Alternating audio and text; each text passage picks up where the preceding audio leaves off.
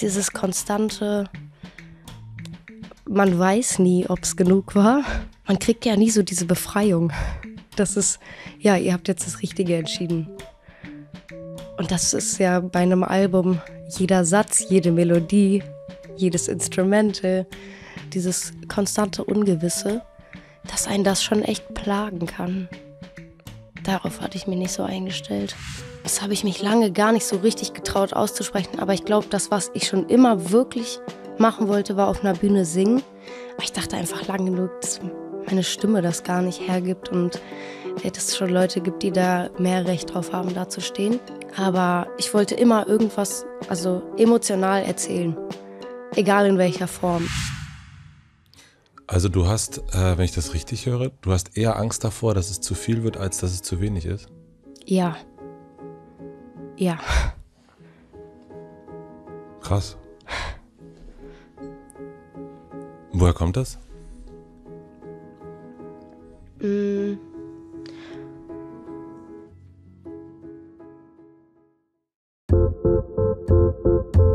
Willkommen im Hotel Matze, dem Interview-Podcast von Mit Vergnügen. Ich bin Matze hier schon. Ich treffe mich hier mit Menschen, die mich interessieren und versuche herauszufinden, wie die so ticken. Mein heutiger Gast ist Paula Hartmann. Paula Hartmann ist Musikerin und Schauspielerin. Ich darf auf jeden Fall behaupten, dass ich Fan der ersten Stunde von Paula Hartmanns Musik bin. Ihr Song Nie verliebt kam 2021 raus und seitdem habe ich alles inhaliert, was sie veröffentlicht hat. Ihre Musik berührt mich total emotional, obwohl ich mit den Sachen, über die sie so singt, eigentlich gar nicht so viel Berührung habe. Ich weiß nicht genau, wie sie das macht, aber sie kriegt das auf jeden Fall hin. Und ich freue mich sehr, dass sie hier Hotel Matze eingecheckt hat. In der Vorbereitung ist mir dann aufgefallen, dass die Musikerin-Karriere gar nicht ihre erste Karriere ist. Sie hat nämlich schon eine Schauspielkarriere hinter sich. Mit fünf hat sie diesen Wunsch, Schauspielerin zu werden, schon formuliert, auch ganz klar formuliert. Zum sechsten Geburtstag hat sie dann geschenkt bekommen, dass sie sich bei einer Castingagentur bewerben darf. Und als sie acht Jahre war, hatte sie ihren ersten Kinofilm mit Lars Eidinger. Danach folgte noch ein Kinofilm mit Matthias Schweighöfer. Jetzt pausiert das Schauspielerinnenleben. Sie sagt selbst, dass sie schon immer den ganz großen Drang hat, auf einer Bühne zu stehen und emotionale Geschichten zu erzählen. Woher dieser Drang kommt, darüber sprechen wir im Podcast, wie sie heute darüber denkt auch. Und ich wollte von ihr wissen, ob ihre Träume nicht eventuell schon zu früh in Erfüllung gegangen sind. Wir sprechen über ihr Leben als Musikerin, über die Herausforderungen, die das mit sich bringt. Es geht um Selbstreflexion, es geht um Abgrenzung, es geht um die Unsicherheiten gegenüber der eigenen Kunst, es geht um Arbeitswut, um Selbstwert und natürlich um Gefühle. Ich wünsche euch viel Vergnügen im Hotel Matze mit Paula Hartmann. Hörst du dich gerne? Mm, meinst du jetzt singen oder sprechen? Beides? Oh, ähm, sprechen fällt mir schon richtig schwer. Hui. Ähm, und singen, es kommt voll auf den Song mittlerweile an.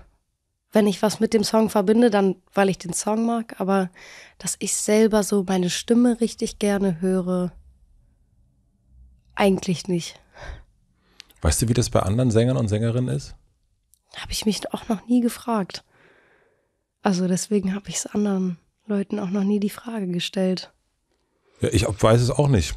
Also ja, das, das müssten wir jetzt mal, äh, werden wir jetzt ganz vielen Sängern und Sängerinnen fragen, ob die sich eigentlich gerne hören, ob sie die eigene Stimme mögen. Manchmal ist es ja so ein, eine schöne Stimme zu haben oder den Ton zu treffen, ist ja auch so ein Geschenk, glaube ich. Dann kann man das noch trainieren, soweit ich das äh, beurteilen kann. Aber dass man die, dass man sagt, man mag seine eigene Stimme, man redet ja ganz oft, man mag irgendwie einen Körperteil von sich oder, oder auch nicht, aber für, über die eigene Stimme weiß ich eigentlich wenig.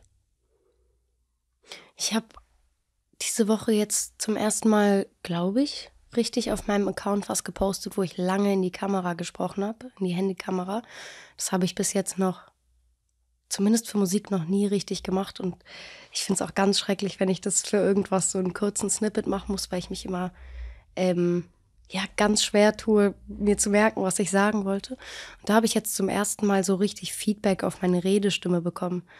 Das war auch spannend. Was schreiben die Leute dann?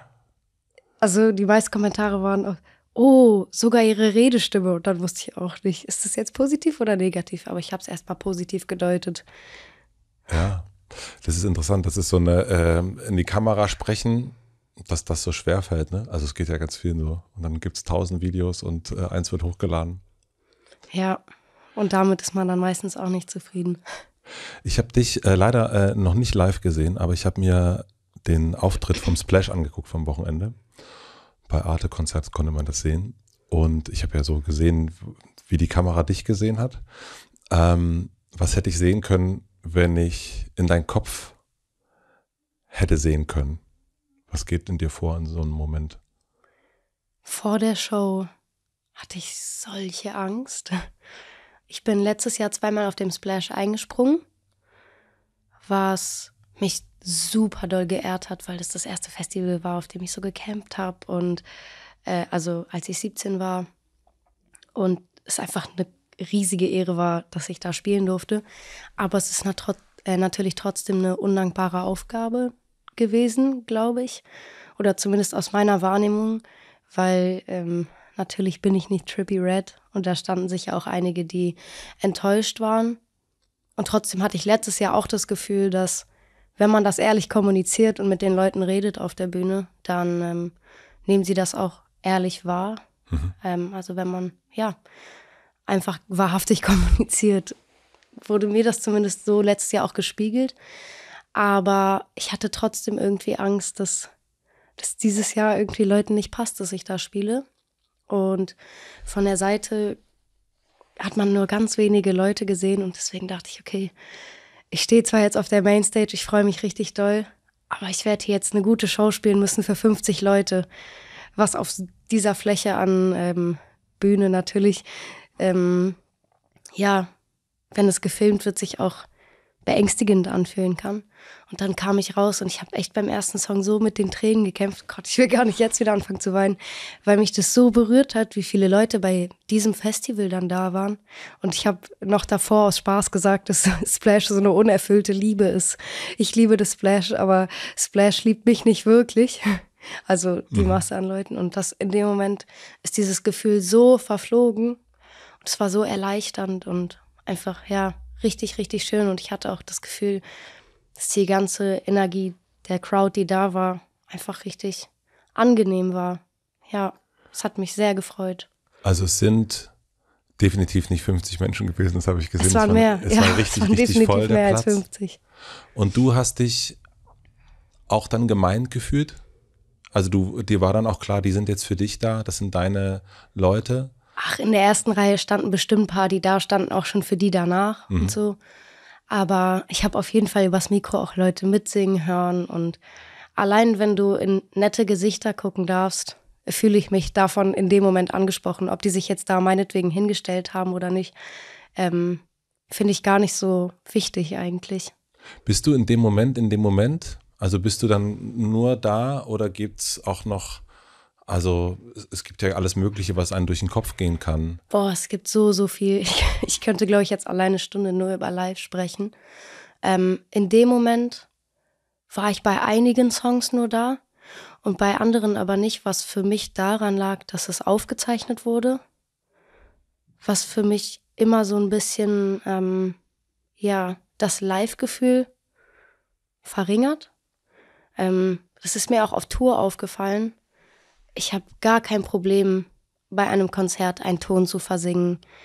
Ähm, ich habe mich jetzt letzte Woche auch ganz doof auf dem Klavier verspielt.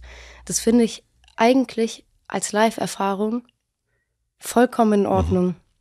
Das Einzige, was mich daran wirklich stresst, ist, dass halt mindestens immer zehn Handykameras Minimum auf eingerichtet sind. Und wenn man Glück hat, findet man, äh, findet man es noch in der Nacht auf TikTok oder so. Und das nimmt irgendwie so diesen Live-Moment oder Charakter für mich zumindest weg, dass ich so das Gefühl habe, okay, man teilt das jetzt nur mit den Leuten, die hier sind, sondern man teilt es vielleicht auch später noch mit ganz vielen anderen Leuten, die einem womöglich nicht so gut gesinnt sind wie die Leute, die sich aktiv Tickets gekauft haben. Ähm, oder zumindest ist das was, was mich mehr einschüchtert. Und siehst du dich dann in dem Moment auch nochmal aus einer Vogelperspektive? Also siehst du, wie du, wie du dich siehst? Das noch nie. Mhm. Das Gefühl hatte ich noch wirklich nie auf der Bühne, glaube ich. Dass ich so jetzt gerade die Perspektive von außen gesehen habe. Ich versuche eigentlich immer nur, die Leute aufzunehmen. Und du hast, also dir kam erst so schon kurz die Tränen äh, aufgrund der Leute. Beim Intro-Song, ja. Ähm, bei den, also als du auf die Bühne gegangen bist. Was verursacht diese Tränen? Ich war einfach so wahnsinnig berührt eben, also weil es, glaube ich, so ein emotionaler Rollercoaster war davor, so Angst zu haben und auch ähm, eben mit dem Hintergrund, dass das alles aufgezeichnet wird. Und dann, dass so viele Leute da direkt bei dem Opener-Slot standen. Das war einfach in dem Moment so überwältigend. Ähm, ja. Also einfach im Grunde, das ist, wenn ich das richtig verstehe, das Gefühl des gerade noch gedacht, ah, es ist keiner da, jetzt sind doch so viele da, ähm, die Kamera, wie mache ich das alles? Und also dieser, ich stelle mir das als einen sehr krassen Cocktail von sehr verschiedenen Geschmacksrichtungen vor. Absolut, ja. Du hast ähm, ein Video gemacht und du hast es ja auch gerade erzählt, dass du äh, Splash auch vom, vom äh, Zeltplatz her kennst. Und jetzt habe ich ein Video von dir gesehen. Einerseits, du warst auf dem Zeltplatz beim Splash und dann eben auch auf der Bühne. Und wo gehörst du jetzt hin, nach deinem Gefühl? Auf beide Plätze. Ja. ähm, ja, wir haben dieses Jahr auch wieder gecampt. Letztes Jahr auch. Das ist immer eigentlich sehr schön. Fühlst du dich in, in der Musikindustrie, fühlst du dich da angekommen? Oh, angekommen. Ich weiß nicht, ob irgendjemand sich da angekommen fühlt. Naja, ich würde sagen, wenn man das eine Weile, also oder, oder zugehörig. Zugehörig, ja. Ja. Doch. Ich fühle mich da auch aufgenommen. Mhm. Aber bei dem Wort angekommen steckt so eine Friedlichkeit irgendwie noch assoziativ mit drin. Die hast du noch nicht. Nee, glaube ich. Dafür mache ich es vielleicht nicht lang genug. Vielleicht hat man es auch nie oder ich. Ich weiß es noch nicht. Man hat wahrscheinlich auch mit der eigenen, ja, wo, ja, wahrscheinlich Selbstsicherheit zu tun, aber ich glaube auch, dass alle Künstler, Künstlerinnen ein, ein, ambivalentes Verhältnis zu ihrer eigenen Kunst haben und dann äh, natürlich auch zu einer äh, Industrie dementsprechend. Ja, bis jetzt kann ich diese Aussage auf jeden Fall bestätigen. Wie ist das, wenn du von der Bühne runtergehst? Oh je. Ähm, ich glaube, die ersten 15 Minuten danach funktioniere ich einfach gar nicht. Mhm. Weil ich, ich habe auch auf Tour wieder darüber nachgedacht. Das ist so krass, wann bin ich sonst in meinem Leben anderthalb Stunden 180 Prozent anwesend. Hm. Es gibt ja keine fünf Minuten kurz Pause, sondern man wird ja wirklich konstant einfach, schaut man so vielen Menschen in die Augen, die alle nur mich und Friso anschauen. Ähm, Friese und mich. Aber deswegen der Moment danach ist einfach so kurz, oh, ich bin wieder wieder ganz allein und ich darf kurz einfach meine Gesichtszüge verlieren. ja. Und bist nicht mehr beobachtet und. Also ich genieße das auch. Also ja. ich liebe, wie gesagt, die Interaktion, aber möchte natürlich auch auf der Bühne was entsprechendes liefern und niemanden enttäuschen und mein Bestmögliches in dem Moment geben. Und wenn ich dann von der Bühne komme, ist einfach dieser Druckverlust da und dann alles, was sich während des Tages aufgebaut hat, baut sich innerhalb von so 30 Sekunden ab. Und was machst du dann? Ich sitze erstmal, ich sitze, trinke Wasser, nehme alle in den Arm und dann kommt es sehr auf das Festival an. Mhm. Wie lange man noch hat, ob ich wirklich einfach nur warte, bis es ins Hotel geht, wenn es sehr spät war oder wenn noch viele befreundete Künstler da sind. Es kommt sehr darauf an.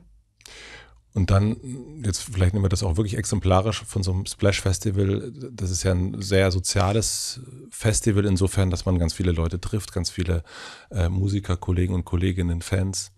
Und dann geht es zurück nach Berlin. Der Sprinter ist ausgeladen, man kommt in die Wohnung. Ist das beruhigend oder eher beunruhigend, wenn das dann so plötzlich ist alles leise? Für mich war es dieses Jahr total neutral. Ich habe mich richtig gefreut über das schöne Wochenende. Hab mich aber auch auf jetzt die anstehende Woche gefreut und habe einfach den Sonntag, um ehrlich zu sein, durchgeschlafen. Mhm. Deswegen hatte ich vielleicht auch gar keine Zeit für so die Wahrnehmung von beunruhigender Unruhe oder so. Aber du kennst die?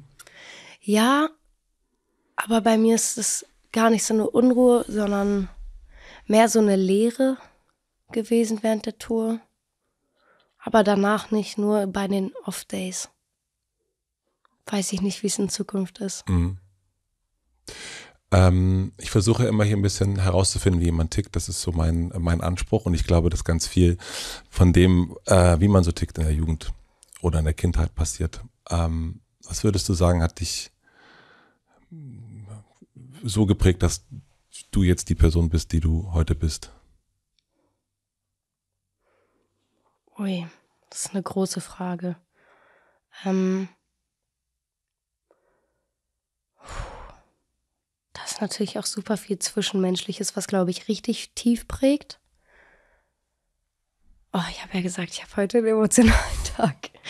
Ähm, aber so beruflich, glaube ich, hat mich wirklich die Schauspielerei als Kind auch krass geprägt, weil ich da wirklich richtig jung einer Sache so verbissen nachgeeifert habe, bis meine Eltern mir das erlaubt haben.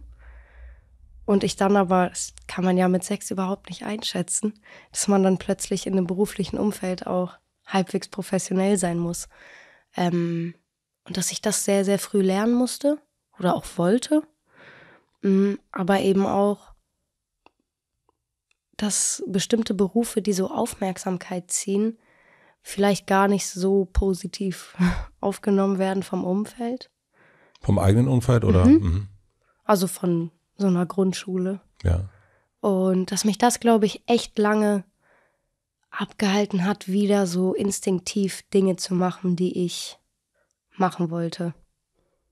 Ja. Also ich meine, es ist schon äh, ein bisschen ungewöhnlich, zumindest äh, habe ich das so äh, sehr selten gelesen, du warst, soweit ich das, also korrigiert das unbedingt, wenn irgendwas falsch ist, aber du hast, du wolltest eben mit sechs Schauspielerin werden und hast deine Eltern überredet, mit dir zu einer Castingagentur zu gehen. Ich meine, das ist mit sechs kann man sich schwer erinnern, aber ahnst du noch, was du ich da kann, gesehen hast? Ja, ich, sorry, ich wollte nicht unterbrechen. Ich glaube, ich kann mich ziemlich genau an das Gefühl erinnern, weil, also ich glaube, ich war fünf, also ich habe auf jeden Fall mindestens ein Jahr gequengelt.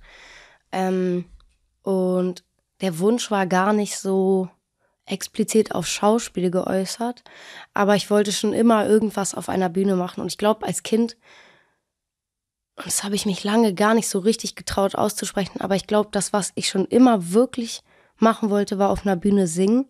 Aber ich dachte einfach lange genug, dass meine Stimme das gar nicht hergibt und äh, dass es schon Leute gibt, die da mehr Recht drauf haben, da zu stehen.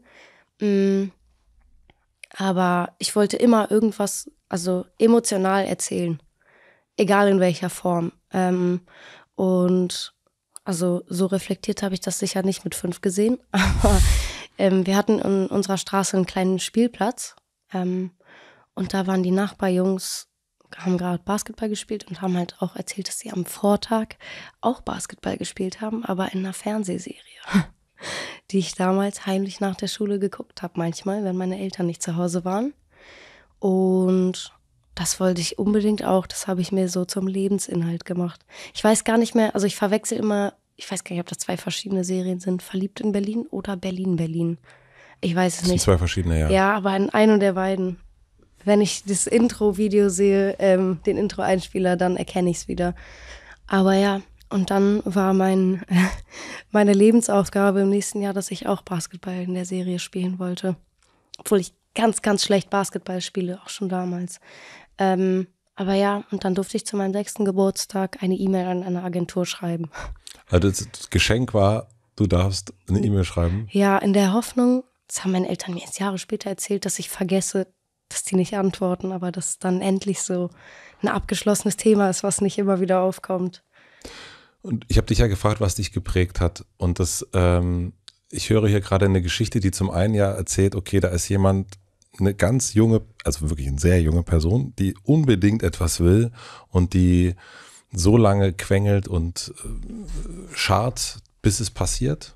Ähm, und auf der einen Seite aber, und das hast du erst auch so äh, angedeutet, dass er auch für eine große Irritation sorgt, dass jemand etwas will und dieses Wollen auch, ähm, ja, also nicht immer positiv ähm, betrachtet wird. Habe ich das richtig verstanden? Absolut und auch, ja, Neid und sowas ja in der Grundschule noch sehr ehrlich spürbar ist. Ja. Und ich dachte immer, ähm, Erwachsene sind bescheuert, wenn sie mir sagen, dass ähm, die anderen Kinder nur neidisch sind, weil ich habe irgendwann auch echt schnell nicht mehr über das geredet, wenn ich weg war oder was ich gedreht habe oder so. Das habe ich wirklich rasch gelernt, da einfach die Klappe zu halten und zu genießen, wenn ich da arbeiten darf, aber sonst einfach da zu sein. Ähm, und wenn dann Erwachsene das so einem erzählt haben, dachte ich immer, nein, ihr seid bescheuert, ich bin das Problem. So, die mögen mich einfach nicht oder bestimmte eben. Aber ähm, was wollten Sie daran ausreden? Was ich Ihnen oder die nee, Erwachsenen? Die, die Erwachsenen dir? Wie, was Sie mir ausreden wollten? Sie wollten mir eher einreden, dass es nicht meine Schuld ist oder dass es, ähm, ja, dass andere Kinder eben manchmal aus Neid gemeint sind. Ach so, okay, jetzt habe ich es an. Okay, ich ja. dachte, es kam von den Erwachsenen, aber es kam eher von anderen Kindern. Ja, ja, nein, okay. nein. Es, Erwachsene haben sich da mir gegenüber zumindest mhm. Ähm, nie gemein geäußert. Und zwar jetzt auch kein riesiges ähm, Problem. Mittelriesig vielleicht. Mhm. Ähm, aber zumindest für mich prägend, so als Erfahrung. Und diese Filmsachen, die du gemacht hast, also du hast ja dann auch zum Beispiel bei alle anderen mitgespielt, ähm, was dann, glaube ich, dein erster Kinofilm mit acht war, äh, mit Lars Eidinger und Birgit Minichmeier, glaube ich. Ne? Mhm. Ähm, erinnerst du dich noch irgendwie dran? Ja, da hat mich meine Oma hinbegleitet. Ich glaube, das war der zweite Film, den ich gedreht habe. Zweite oder dritte. Ähm, oh, war das Sardinien, wo wir gedreht haben? Das Auf ist, jeden ja, Fall eine ja, Reise. Spielt, spielt woanders, genau. Ja. Ähm, und ich hatte auch nur, glaube ich, zwei Tage da. Habe aber mit meiner Oma und äh, zwei anderen Schauspielerinnen in so einer kleinen Ferienwohnung gewohnt, was für mich natürlich ein Traum war. Ich weiß noch, dass ich da Pistazien für mich entdeckt habe. Aus so einer alten Schaukel. Ich weiß mhm. nicht, wie die heißen. Hollywood-Schaukel. Hollywood-Schaukel, ja. ja. Das weiß ich noch. Ein wunderschöner Begriff, auch Hollywood-Schaukel. Absolut. Ja. Ähm, und ich fand es natürlich großartig da, dass ich da in den Pool springen durfte. Und woran ich mich sehr krass, ähm, mehr als Gefühl als als richtige genaue Erinnerung erinnere, ist, als Kind wird man, das Set ist sehr hierarchisch. Und Schauspieler stehen wirklich weit oben auf, in dieser Hierarchie, aber Kinderschauspieler nicht. ähm, und man kriegt viel Stress also Stress reicht sich meistens bis zu den Praktikantinnen. Ähm, und dann irgendwo da geht es oft auch mal an ein Kind weiter. Einfach vom Ton oder so. Und vor allem auch die verschiedenen KollegInnen sind, ähm, ja, mal mehr, mal weniger nett oder interessiert. Aber was, an was ich mich wirklich erinnere, weil das einer der ersten Kolleginnen war, ist Lars Eidinger, dass der wirklich so aufrichtig versucht hat, sich für mich zu interessieren und was ich in meinem Alter gerade so mache und für Interessen habe. Den habe ich letztes Jahr wieder auf einem Festival gesehen und habe ihm das auch gesagt, dass mir das irgendwie noch als ähm, ja, Kindheitserinnerung, dass man manche Kolleginnen hat, die man sehr positiv oder mittelpositiv in Erinnerung behalten hat. Das sind meine Erinnerungen von dem Dreh. Und irgendein Joghurt. Ich bin jetzt einmal alles durchgegangen an Gerüchen, Geschmäcken und alles, an was ich mich erinnern Pistazien kann. Pistazien in Hollywood-Schaukel und Lars Eidinger. Ja, und dass der Gang von dem Haus, das habe ich da auch erst richtig gelernt, weil meine erste Rolle, ich weiß nicht, ob mir das da nicht so aufgefallen ist, aber da war auf jeden Fall mehr Platz, dass in diesem Flur wirklich alles an Equipment stand und man wirklich so zwischen dem Equipment versucht hat, nicht im Weg zu stehen. Und ich war ja noch sehr klein, das heißt, ich stand wahrscheinlich weniger im Weg als andere. Und hattest du dieses Gefühl von Stolz, als du dich dann auf der Leinwand gesehen hast? Durfte ich nicht, weil ähm, ich zu jung war für den Film. Ich durfte einmal bei den roten Teppich, aber ich durfte nicht mit rein. Oh wow. Ja, ich war in dem Jahr, glaube ich, sogar zweimal auf der Berlinale noch mit äh, The Countess. Und beide Filme waren nicht altersgerecht. Und was war der erste Film, wo du dich auf der Leinwand gesehen hast? Weißt du das noch? Ich glaube echt der Nanny. Der Nanny, der Schweighöfer-Film? Mit 14 dann. Ich weiß gar nicht, ob ich dazwischen Kinofilme. Doch, Bösekendorf lief mal. Ähm, irgendwo eine Premiere. Aber da habe ich auch keine richtige Gefühlserinnerung dran, ob ich da stolz war oder so. Ich glaube eher, dass es so ein unangenehm berührtes Gefühl, wenn dann ist. Auch immer noch, wenn ich Musikvideos oder so irgendwo Einspieler sehen muss. Oh, das bin ich. Und ist das, also diese, was dich dahin gebracht hat, ursprünglich ist ja, Jungs spielen Basketball, erzählen, dass sie gestern da gespielt haben. Du kanntest die Serie und du dachtest, das will ich eigentlich auch. Und das ist ja auch auch um ein, um, also so jemanden zu beeindrucken. Also es hat dich ja beeindruckt. Ähm, das will man ja meistens dann auch. Ähm, wen hast du damit beeindruckt? Ich glaube, um ehrlich zu sein, dass es gar nicht so doll aus so einem beeindruckenden Wunsch herauskam, sondern mehr, dass ich wirklich schon immer so irgendwas Entertainerisches machen wollte. Und entweder auf einer Bühne oder sonst irgendwo einfach mitperformen wollte. Ob das jetzt ein Publikum hatte oder nicht. Und wenn ich jemanden beeindruckt habe, dann wahrscheinlich LehrerInnen, andere Erwachsene. Aber ja, das war, glaube ich, echt nicht so eine Riesenrolle für mich. Für dich war das die Bühne im Grunde. Voll und auch bis heute eigentlich am Schauspiel das Ergebnis ist mir eigentlich, ich weiß nicht, ob man das laut sagen darf, aber gar nicht so wichtig. Ich gucke es mir auch gar nicht so gern an. Ähm, ich mag einfach irgendwie diese Arbeit total gerne. Hm, ja, und ähnlich ist es auch mit der Musik. Ich könnte mir zum Beispiel diesen Splash-Auftritt im Leben nicht angucken. Ähm, Wovor hättest du da Angst? Ich mag es einfach nicht hören und sehen. ähm, mir macht es in dem Moment total Spaß und ich fühle mich wie, das ist richtig und das ist gerade schön, mit allen hier zu sein. Aber das Ergebnis ist dann für andere. Ähnlich auch bei einem Album. Nie verliebt, sobald es rauskam, habe ich, glaube ich, nicht einmal richtig gehört. Weil es dann irgendwie, jetzt ist für andere. Und jetzt ist es ja so, dass Menschen träumen, gerade Kinder träumen viel, ähm, träumen von ähm, Traumjobs, Traum, träumen auf, von der Leinwand und was es auch alles so ist vom, vom All. Äh, ich habe einen Freund, der ist Mitte 40 und träumt immer noch von der Leinwand und hat es bisher nicht geschafft. Hast du manchmal das Gefühl, dass deine Träume zu früh in Erfüllung gegangen sind?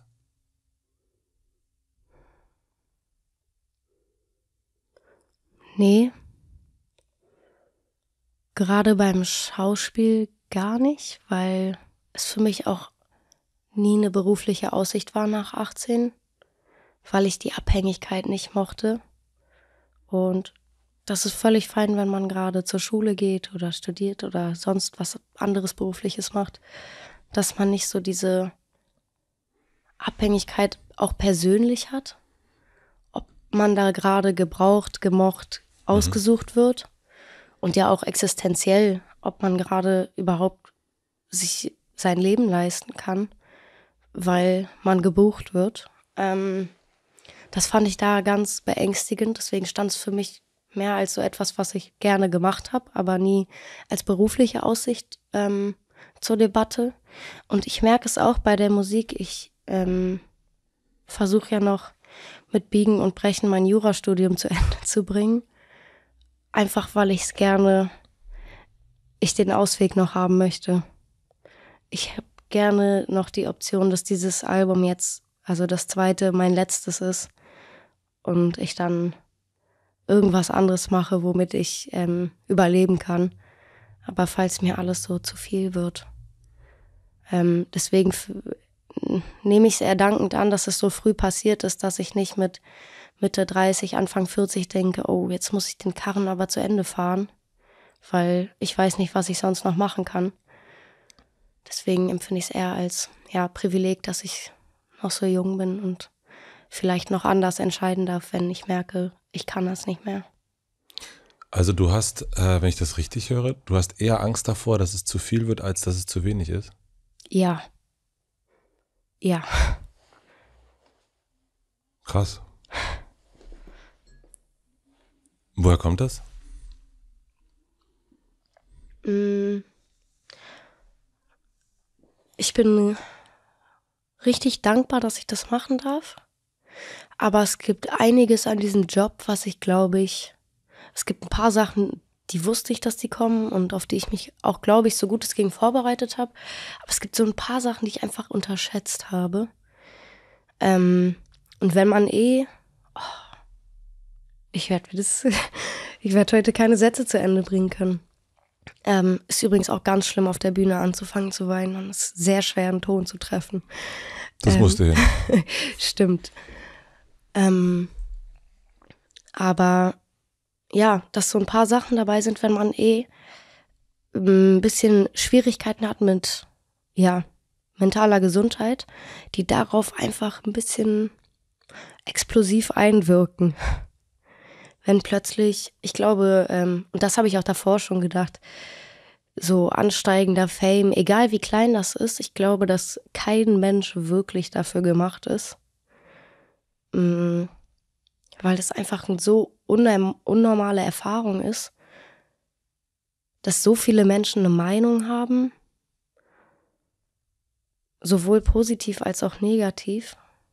Und es echt eine Aufgabe ist, sich konstant wieder so in sein eigenes Leben zurückzurufen und sein Selbstwert und ähm, ja, sein, sein Glück ein bisschen mehr vom Hier und Jetzt und von seinem privaten Umfeld bestimmen zu lassen als von außen.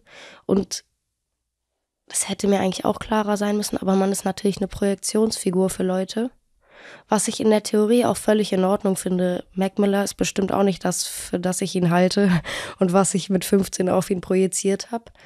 Ähm, aber wenn man das selber ist, und es gibt natürlich auch Arten von Projektionen, für die man nicht so gerne herhält, mm, das finde ich auch schon beunruhigend. Dann ähm, dieses konstante, man weiß nie, ob es genug war. Ähm, Was meinst du damit? Ja, jetzt zum Beispiel bei meinem Album, ich kann nur bewerten eigentlich, ob ich genug gegeben habe, ob ich, und da kann ich echt mir richtig gerade ins Gesicht schauen im Spiegel, weil wir echt von September bis zur Tour sieben Tage die Woche da saßen wie zwei Vollidioten, wirklich. Das empfehle ich echt niemandem. Reden wir vom ersten aber und vom zweiten? Vom zweiten jetzt. Jetzt schon. Mhm. Ja, wirklich sieben Tage die, Wochen, äh, die Woche arbeiten über einen Zeitraum von einem halben Jahr ist wirklich eine richtig dumme Idee. ähm, aber man kriegt ja nie so diese Befreiung. Das ist, ja, ihr habt jetzt das Richtige entschieden. Und das ist ja bei einem Album jeder Satz, jede Melodie, jedes Instrumente. In diesen Kategorien gibt es noch Unterthemen und ja, dieses konstante Ungewisse, dass einen das schon echt plagen kann.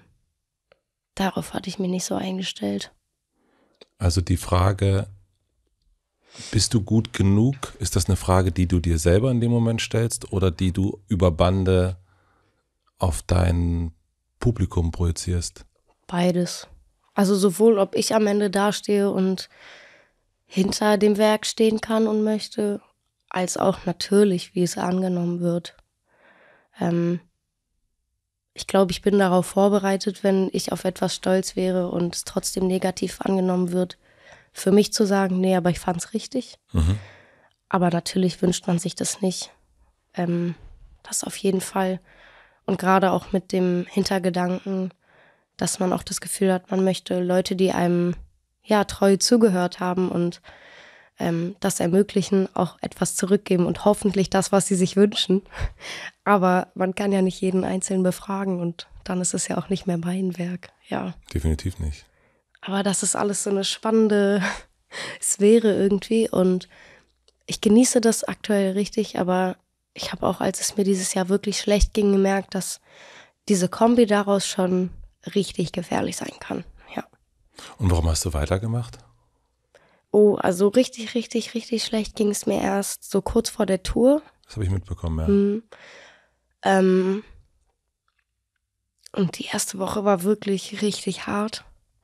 Mhm. Und mir wurde auch aus dem Team angeboten, wenn es mir weiterhin so geht, dass ich das abbrechen kann.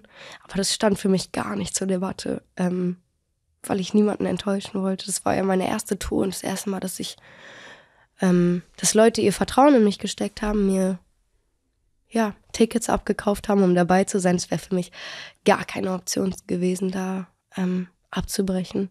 Ich glaube, ich wäre vorher draufgegangen, bevor ich nicht den letzten Stopp gespielt hätte. Und es wurde zum Glück ähm, in der zweiten Woche auch langsam besser. Ich glaube auch, nachdem mir das Angebot gemacht wurde, dass ich abbrechen kann. Ähm, aber ja, deswegen habe ich weitergemacht. Und danach habe ich meinen ersten Urlaub seit vier Jahren gemacht. Das hat auf jeden Fall alle Perspektiven wieder ein bisschen cool. zurechtgerückt, ja.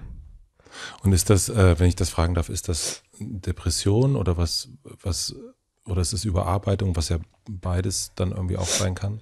Mm, ich will es öffentlich nicht mhm. so ähm, Deswegen frage diagnostizieren. Ich auch, ja, ja, ja. ist auch okay. Ähm, ja, ich mir geht es seitdem ich zwölf bin ab und an schlecht. Ja. Und wie vielen? Ja, deswegen.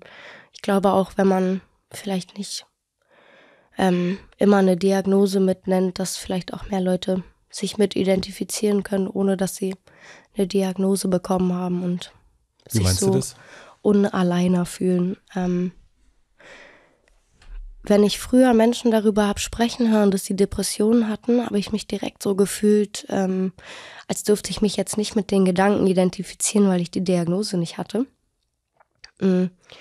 Aber wenn einfach jemand ehrlich gesagt hat, mir ging es nicht gut und das erklärt hat, selbst wenn es genau die gleichen Symptome waren, ähm, konnte ich damit viel mehr was anfangen und mich habe mich zumindest als Jugendliche viel gesehener gefühlt.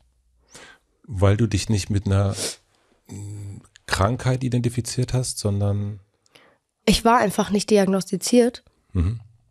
Und ich wollte auch niemandem eine Diagnose wegnehmen, indem ich, ja. ähm, wenn du mir jetzt heute sagen würdest, ähm, du wärst bipolar und ich denke, oh, ich habe äh, voll viele dieser Gefühle auch, würde ich aber niemals das weiterdenken wollen, weil ich dir nicht den Raum wegnehmen möchte, ähm, weil ich nicht diese Diagnose habe. Ja. Wenn du aber einfach beschreibst, wie sich das äußert, kann ja sein, dass ich zwei, drei Symptome davon auch habe und mich deshalb nicht alleine fühle obwohl ich vielleicht gar nicht die Diagnose hätte. Und weil ich weiß, dass mir das als Jugendliche geholfen hat, dass wenn einfach jemand ehrlich gesagt hat, mir geht's nicht gut, das und das, ähm, ohne das zu betiteln, mhm. dass ich mich damit früher weniger allein gefühlt habe oder mehr gesehen. Deswegen versuche ich das, diese Reihe weiterzuführen. Ich finde das total äh, sehr also so eigenartig fällt mir das ist, ist das Wort und das hat ja oftmals so was Negatives, aber meine ich überhaupt nicht, sondern ähm, manchmal ist es natürlich gut, wenn man etwas hat, dass man weiß, okay, das habe ich und man hat, äh, man hat vielleicht einen Begriff. Das muss ja nicht nur mentale Gesundheit sein, das kann jede Form von Gesundheit oder Krankheit sein. Äh, und dann kann man sagen, okay, jetzt muss ich oder kann ich dies und jenes tun.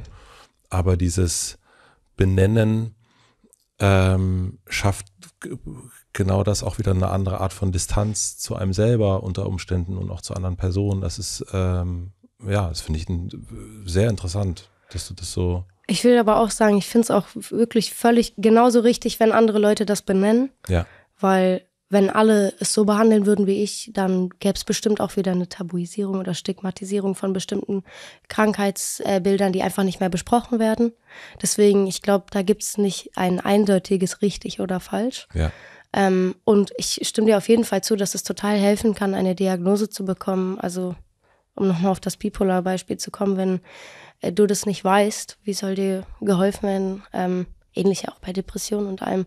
Also absolut, dass das helfen kann ich habe wirklich einfach für mich diese, ja, jugendliche Erfahrung, ja. dass ich für manche Leute vielleicht ähm, diese Person sein will, die ich früher hatte. Voll. Hast du die Person noch? Ist die noch in deinem Leben? Äh, nein. Ja. Ähm, jetzt muss ich überlegen, wie wir weitermachen. Ähm, wie spannen wir jetzt den Bogen? Wie spannen wir jetzt den Bogen? Ich kann eine Zwischensache erzählen, die ich eigentlich direkt am Anfang sagen wollte. Sobald Podcasts oder irgendwelche Interviews laufen, ich entwickle Sprachstörungen. Ich werde wahnsinnig unsouverän im Sprechen. Ich suche selten so hart nach Worten wie bei aufgezeichneten Gesprächen. Ich muss das einmal rechtfertigend sagen. Frau Hartmann, wenn ich das so sagen darf, Sie sind zu hart zu sich selbst. nee, mich entlastet es einfach, das einmal zu sagen. Mhm. Aber äh, unbedingt. Aber ich, ich habe hab am Anfang gemerkt, es ist einfach anstrengender in meinem Kopf, wenn ich, oh nee, jetzt jedes Wort muss irgendwie rauskommen. Weißt du was? Ich mache das ja hier seit 200, weiß ich nicht, 50, 60 Folgen. Ich war gerade auf Jahre gesprochen. Ja, 250 Jahre, Mann. Das ist so alt siehst du doch gar nicht aus, Matze. Dafür hast du dich gut gehalten. Danke. Und es ist so, dass ich, wenn ich mir eine Folge anhöre, denke ich, sag mal, schaffst du es, einen Satz ohne Äh zu machen? Meine Güte, wie schwer kann es sein? Oder wenn ich ein Intro einspreche oh, oder irgendwas, denke ich jedes Mal, das kann doch wohl nicht wahr sein. Warum ist, wenn so ein Mikro vor der Fresse ist, ist das irgendwie so kompliziert? Keine Ahnung. Und es ist ähnlich wie mit der Stimme, was wir am Anfang hatten. Ich habe das auch noch nicht mit anderen großartig besprochen. Ich denke aber jedes Mal, ich bin wirklich der absolute äh, Volltrottel. Also willkommen im Club in dem Fall. Aber man muss es auch einfach, scheiß der Hund drauf, sage ich ja. mal. Äh, danke für die Unterbrechung, Überbrückung. Ähm, ich würde einmal kurz noch zurück, äh, weil wir sind ja schon weit, weit vorangeschritten. Ich muss einmal kurz hier äh, ganz elegant Lecker. Nase wischen. Brauchst du ein Taschentuch oder so? Nee, alles gut. Ich ähm, bin so ein klassischer in Ärmelwischer und dann abends in die Wäsche. Hoffentlich.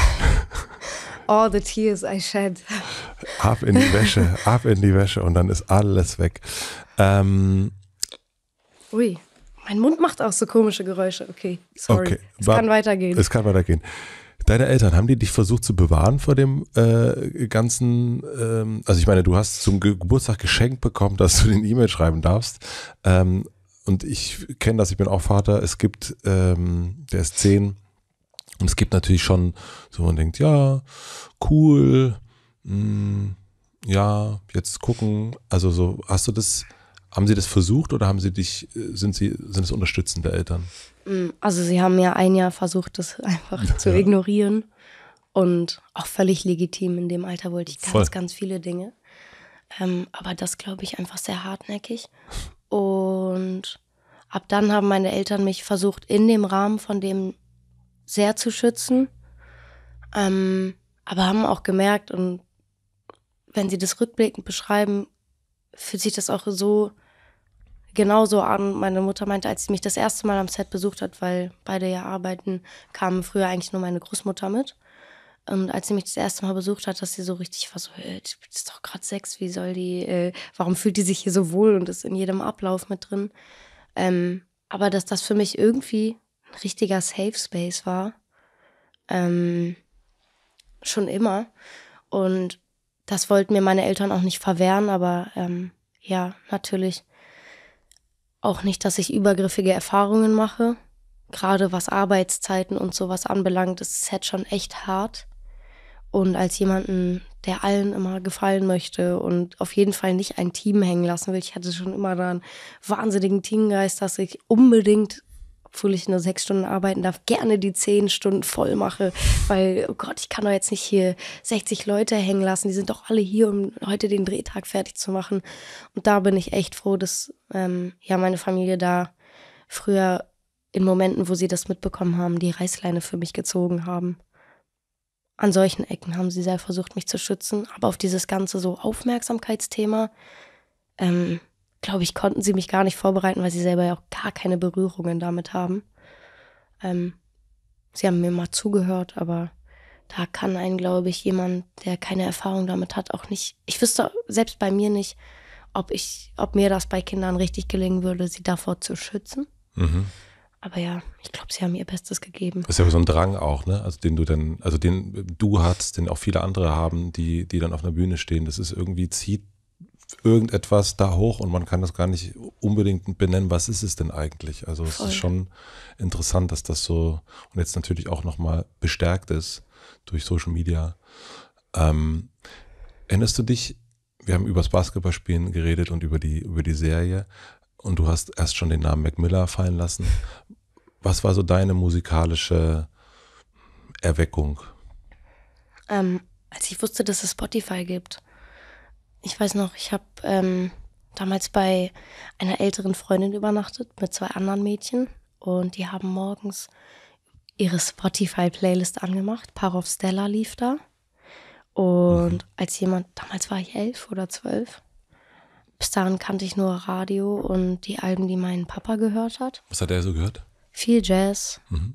Ähm, ja, überwiegend Jazz und Eric Clapton. ähm, aber äh, wo war ich? Ach so, genau. Und dann haben die das angemacht und Parostella, das war ganz weit entfernt von allem, was ich damals im Radio kannte, aus dem Radio kannte. Ähm, danach bin ich nach Hause und habe das richtig stolz meinem Vater gezeigt, mhm. dass, äh, dass, ich jetzt was anderes höre und habe äh, versucht, ihn dazu zu überreden, dass wir uns einen Spotify-Account machen. Haben wir uns dann auch geteilt. Ähm, und das war so, glaube ich, der Beginn von sich so selber Musik raussuchen. Und dann habe ich lange von den Playlisten von diesen vier Mädels, nee, drei Mädels gelebt, ohne dass sie es wussten. Weil ich war ja natürlich selber auch super cool und genauso weit wie die anderen. Ähm, und ja, und irgendwann kam viel Hip-Hop dazu. Das aber, glaube ich, über so die Leute aus meiner Schule. Ja. Was war das für ein Hip-Hop? Mm, damals super viel Odd Future. Mhm. Ähm, genau, irgendwann Mac Miller. Hm. Das waren eigentlich so die zwei prägendsten. Ich will jetzt nicht Gruppen, aber auch nicht Künstler sagen, jetzt beides nicht auf beide zutrifft.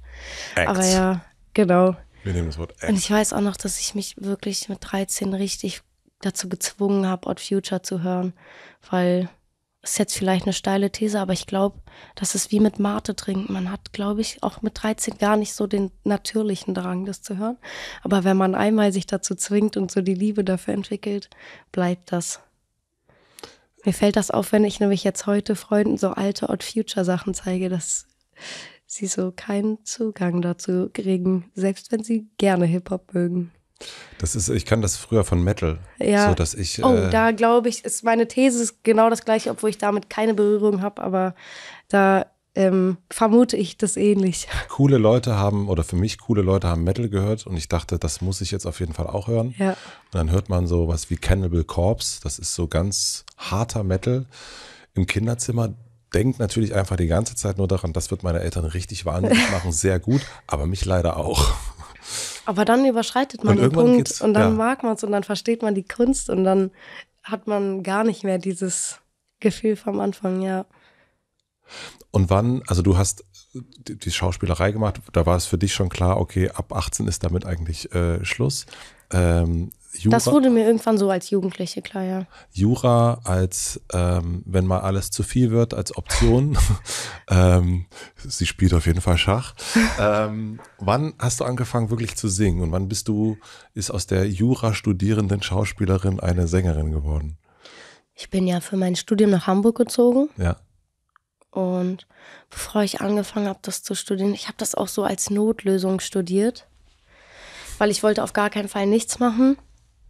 Weil Sieben das, Tage Woche, natürlich wolltest du auf gar keinen Fall nichts machen. Ja, ich hatte ganz doll Angst, dass das mich in ein richtiges Loch stürzt. Ähm, lieber was machen und sich dann dagegen entscheiden oder eine Sache zumindest für sich ähm, ja, ausschließen können. Auch als Erfahrung zwingt mich ja keiner da jeden Tag zu sitzen. Nee, aber ich wollte einfach ähm, nicht in, in eine Leere fallen. Mhm. Ähm, ja, kann man jetzt auch drüber diskutieren, ob das gesund ist, dass wenn man nichts macht, äh, man Angst davor hat, unglücklich zu sein. Äh, ich will da jetzt kein abschließendes Urteil zu fällen, aber ja, dann bin ich da hingezogen. Ich hatte aber damals ganz doll Angst, weil ich war auch gut in der Schule, weil ich ursprünglich mal Medizin machen wollte und alles und hatte richtig Angst damals, dass ich so ein Systemopfer geworden bin, dass ich, weil ich immer alles richtig machen will, einfach gar nicht mehr weiß, was ich will und einfach gucke, okay, wo ist irgendeine Schiene, in die ich mich reinsetzen kann und dann bringe ich den Zug so schnell wie möglich zum Fahren.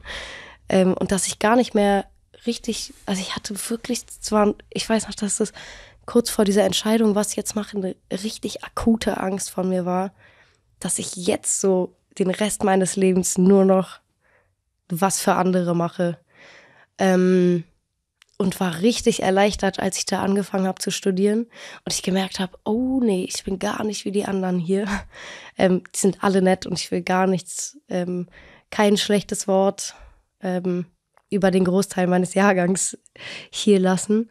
Ähm, aber ich habe gemerkt, ich habe gar nicht eure Ziele und das gibt mir auch gar nicht so persönlich was. Ich will überhaupt nicht gegen euch antreten über Punkte und ich bin auch gar nicht bereit dazu, gerade jeden Tag zu lernen. Ich nehme einfach ein bisschen was mit. Ich mag es auch, also ich mag generell neue Dinge zu lernen. Deswegen, wenn ich Lust habe, setze ich mich mit rein, wenn nicht, dann nicht. Und so bin ich echt gut durchgefahren. Aber weil ich es da eben oft auch richtig schrecklich fand, habe ich einfach zu allem Ja gesagt, was außenrum passiert ist. Ähm, ob das war in Berlin für ganz entfernte Bekannte einen Chor mit einsingen, um so nicht meine erste Öffrechtprüfung mitschreiben zu müssen und eine valide Ausrede für mich selbst zu haben. Ähm, alles wirklich. Und irgendwann habe ich dann meine Jungs aus Harburg kennengelernt. Die hatten damals, ich werde richtig nostalgisch, weil ich daran denke, obwohl es gar nicht so lange her ist, aber weil es den Container nicht mehr gibt, so einen richtigen, so einen Baucontainer einfach angemietet im Hafen, wo die so ein Studio reingebaut haben. Super amateurhaft natürlich, aber es war so toll. Und da habe ich dann so vier Monate, glaube ich, jede Nacht verbracht.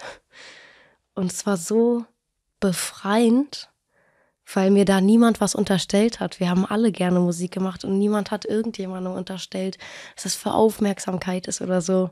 Wir haben ja gar nichts released oder irgendwas. Es war einfach schön. Man hat natürlich jedem gewünscht, dass coole Sachen entstehen und so, aber es war, das war richtig wichtig für mich als Erfahrung, weil ich früher so Angst hatte, dass ich jetzt noch die singende Schauspielerin bin. Oh, was will sie noch?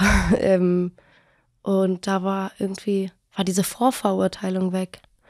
Und ich glaube, ohne diese Gruppe hätte ich niemals mich getraut, dann, ähm, ja, anzufangen.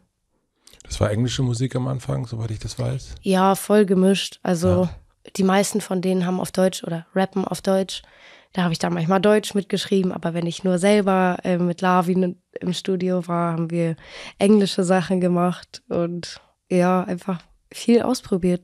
Richtig, ja, freie Zeit einfach, so in der man ganz unberührt von Außenwahrnehmung so gemacht hat.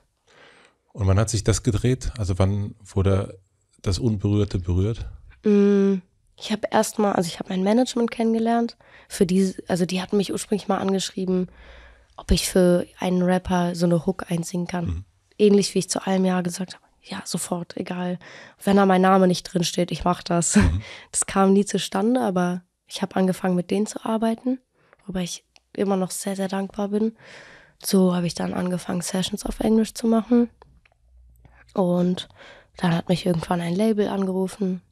Dann habe ich Bistram kennengelernt und ab dem Zeitpunkt, wo ich Bistram kennengelernt habe, war mir klar, ich will nie wieder Sessions machen. Bistram ist dein Produzent, mhm. mit dem du das Album nie verliebt und jetzt auch dein Richtig. neues machst. Ja. Was war der erste gute Track, den ihr gemacht habt? Also der für dich, wo du gemerkt hast, okay, hier ist das Nie verliebt war mein erster ja. Track. Ja, aber den habe ich sogar vorher angefangen. Ähm, der erste Moment, wo ich das mit Bistram hatte. Das ist ein, eine sehr schwierige Frage, weil ähnlich wie bei diesem Album haben wir eigentlich echt lange rumgewürfelt und am Ende ist so innerhalb von einer Woche alles zusammengefallen.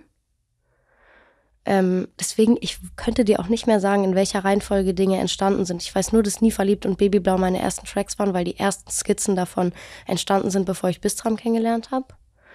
Ähm, aber wie am Ende welcher Track zuerst fertig war, ich weiß, dass Wöff relativ früh in einer anderen Variante, also mit einem anderen Instrumental war. Ähm, und auch noch andere Melodie im Refrain. Aber wo dieser Moment war, wo ich dachte, oh, jetzt ist was richtig Gutes. Keine Ahnung. Aber hattest du diesen Moment schon? Ich habe gerade in dem Moment auch gedacht, oh, ich weiß gar nicht, ob ich den überhaupt hatte.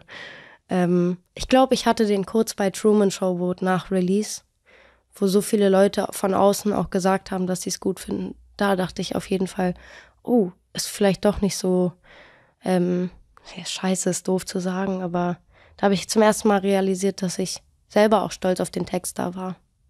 Weil ich vorher gar nicht so richtig mich gefragt habe. Was macht denn deine Musik mit dir selber? Also wenn du das so schreibst, ich kann dir das ja, ähm, äh, wie du weißt, bin ich, äh, ich glaube, ich bin bei Nie verliebt auch schon eingestiegen. Ich bin mir nicht mehr, ich habe erst nochmal nachgeguckt, wann, wann ich dir irgendwie geschrieben habe als äh, Fanboy. Ich glaube, irgendwie August 21 oder so. Dann bist du auf jeden Fall seit Anfang dabei. Ja.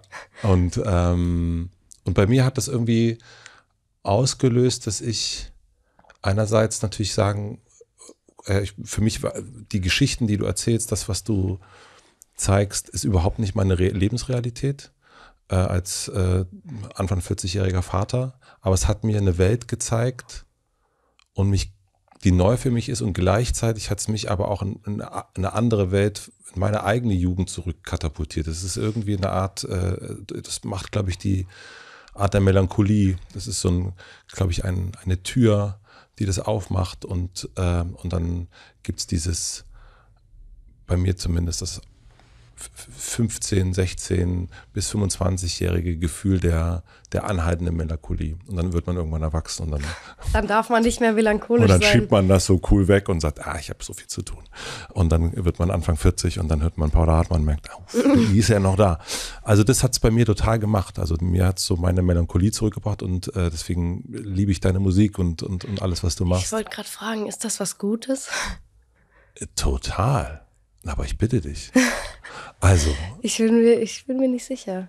Die Melancholie zurückbringen ist doch, es gibt einen wunderschönen Satz von Kurt Cobain auf, ähm, ich weiß nicht, welcher Song es ist, I miss the comfort in being sad. Ja.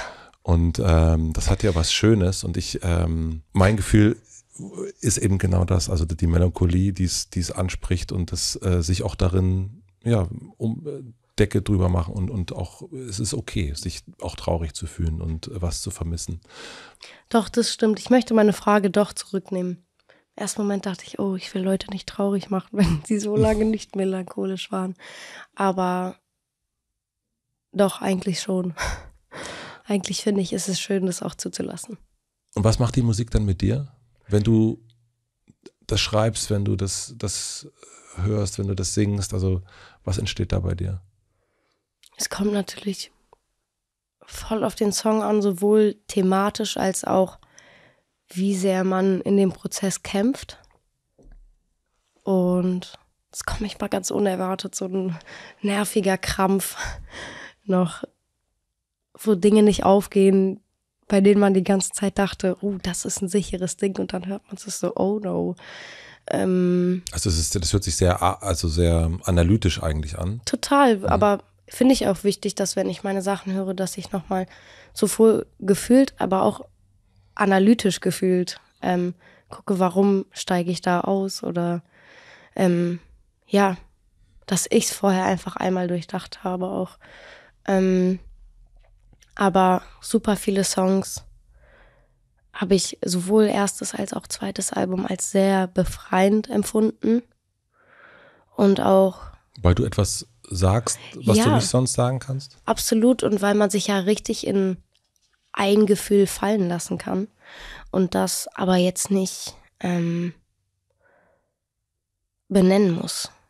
Also, dass ich verpacken kann, wie es mir dieses Jahr ging, ohne zu sagen, oh, mir ging es dieses Jahr echt richtig schlecht. ähm, das mache ich, wenn ich spreche, aber dass ich es für mich in eine Welt verpacken kann. In Geschichten? Ja, und auch Bilder und Gefühle irgendwie. Ähm, zumindest ist das mein Versuch. Und das empfinde ich manchmal als sehr befreiend. Auch mh, mm, ich sammle einfach wahnsinnig viel zu so bestimmten Ideen, denke ich mich tot ähm, nächtelang über jeden möglichen Satz, jedes Bild, jedes Wort, was ich irgendwie damit assoziiere. Und allein diesen Prozess empfinde ich manchmal als richtig befreiend. Dann sind da so absolute Schrottsätze mit in der Liste, die aber trotzdem richtig gut taten, rauszuschreiben. Also fast wie merkwürdiges Tagebuch. Mhm. Aber einfach, dass, dass das irgendwie so einen Kanal dafür gibt. Ja. Und siehst du dich dann selber vor allen Dingen als eine Texterin? Ja, doch. schon. Ich überlege gerade. Hm. Weil ich versuche auch ein, mich sehr doll auf live zu sehen. Ich weiß gar nicht, ob das der Kontrast war, den du jetzt unbedingt meintest, aber ähm, ich sehe auf jeden Fall mehr mein Talent im Texten als im Singen. Mhm. Ja. Hast du dich mal mit Patti Smith auseinandergesetzt? Dann möchte ich dir diese Empfehlung aussprechen, dich mit Patti okay. Smith auseinanderzusetzen. Irgendwie kommt mir das gerade. Es gibt ein ganz tolles Buch, das heißt Just Kids. Da schreibt sie ähm, über ihre Freundschaft zu Robert Mapplethorpe, was ein Fotograf war. Und weil ich ja auch weiß, dass du Fotografie ganz äh, gerne magst. Ähm, und äh, Patti Smith ist ja eine ikonische Poetin, würde ich sagen. Ähm, und ich ähm, kann mir vorstellen, dass du, also manchmal sucht man, ich weiß nicht, ob du Vorbilder suchst oder, oder Beispiele vielleicht, die die ein oder anderen Sachen schon ähm, erlebt haben. Und, äh, ähm, und ich irgendwie erinnert mich das gerade so was du erzählst und, und auch die Texte, kommt, kam mir gerade Patty Smith so reingewandert in mein, in mein Gehirn. Und Musst du mir gleich unbedingt nochmal sagen, wenn wir draußen ja. in der Nähe meines Notizbuchs ich, sind. Ich schreibe es mir selber auch nochmal ja. auf. Ähm, Aber ja. ich freue mich immer über Empfehlungen. Und das ist echt ganz spannend. Ich habe ähm, ja meine ersten Interviews so um das erste Album rumgegeben.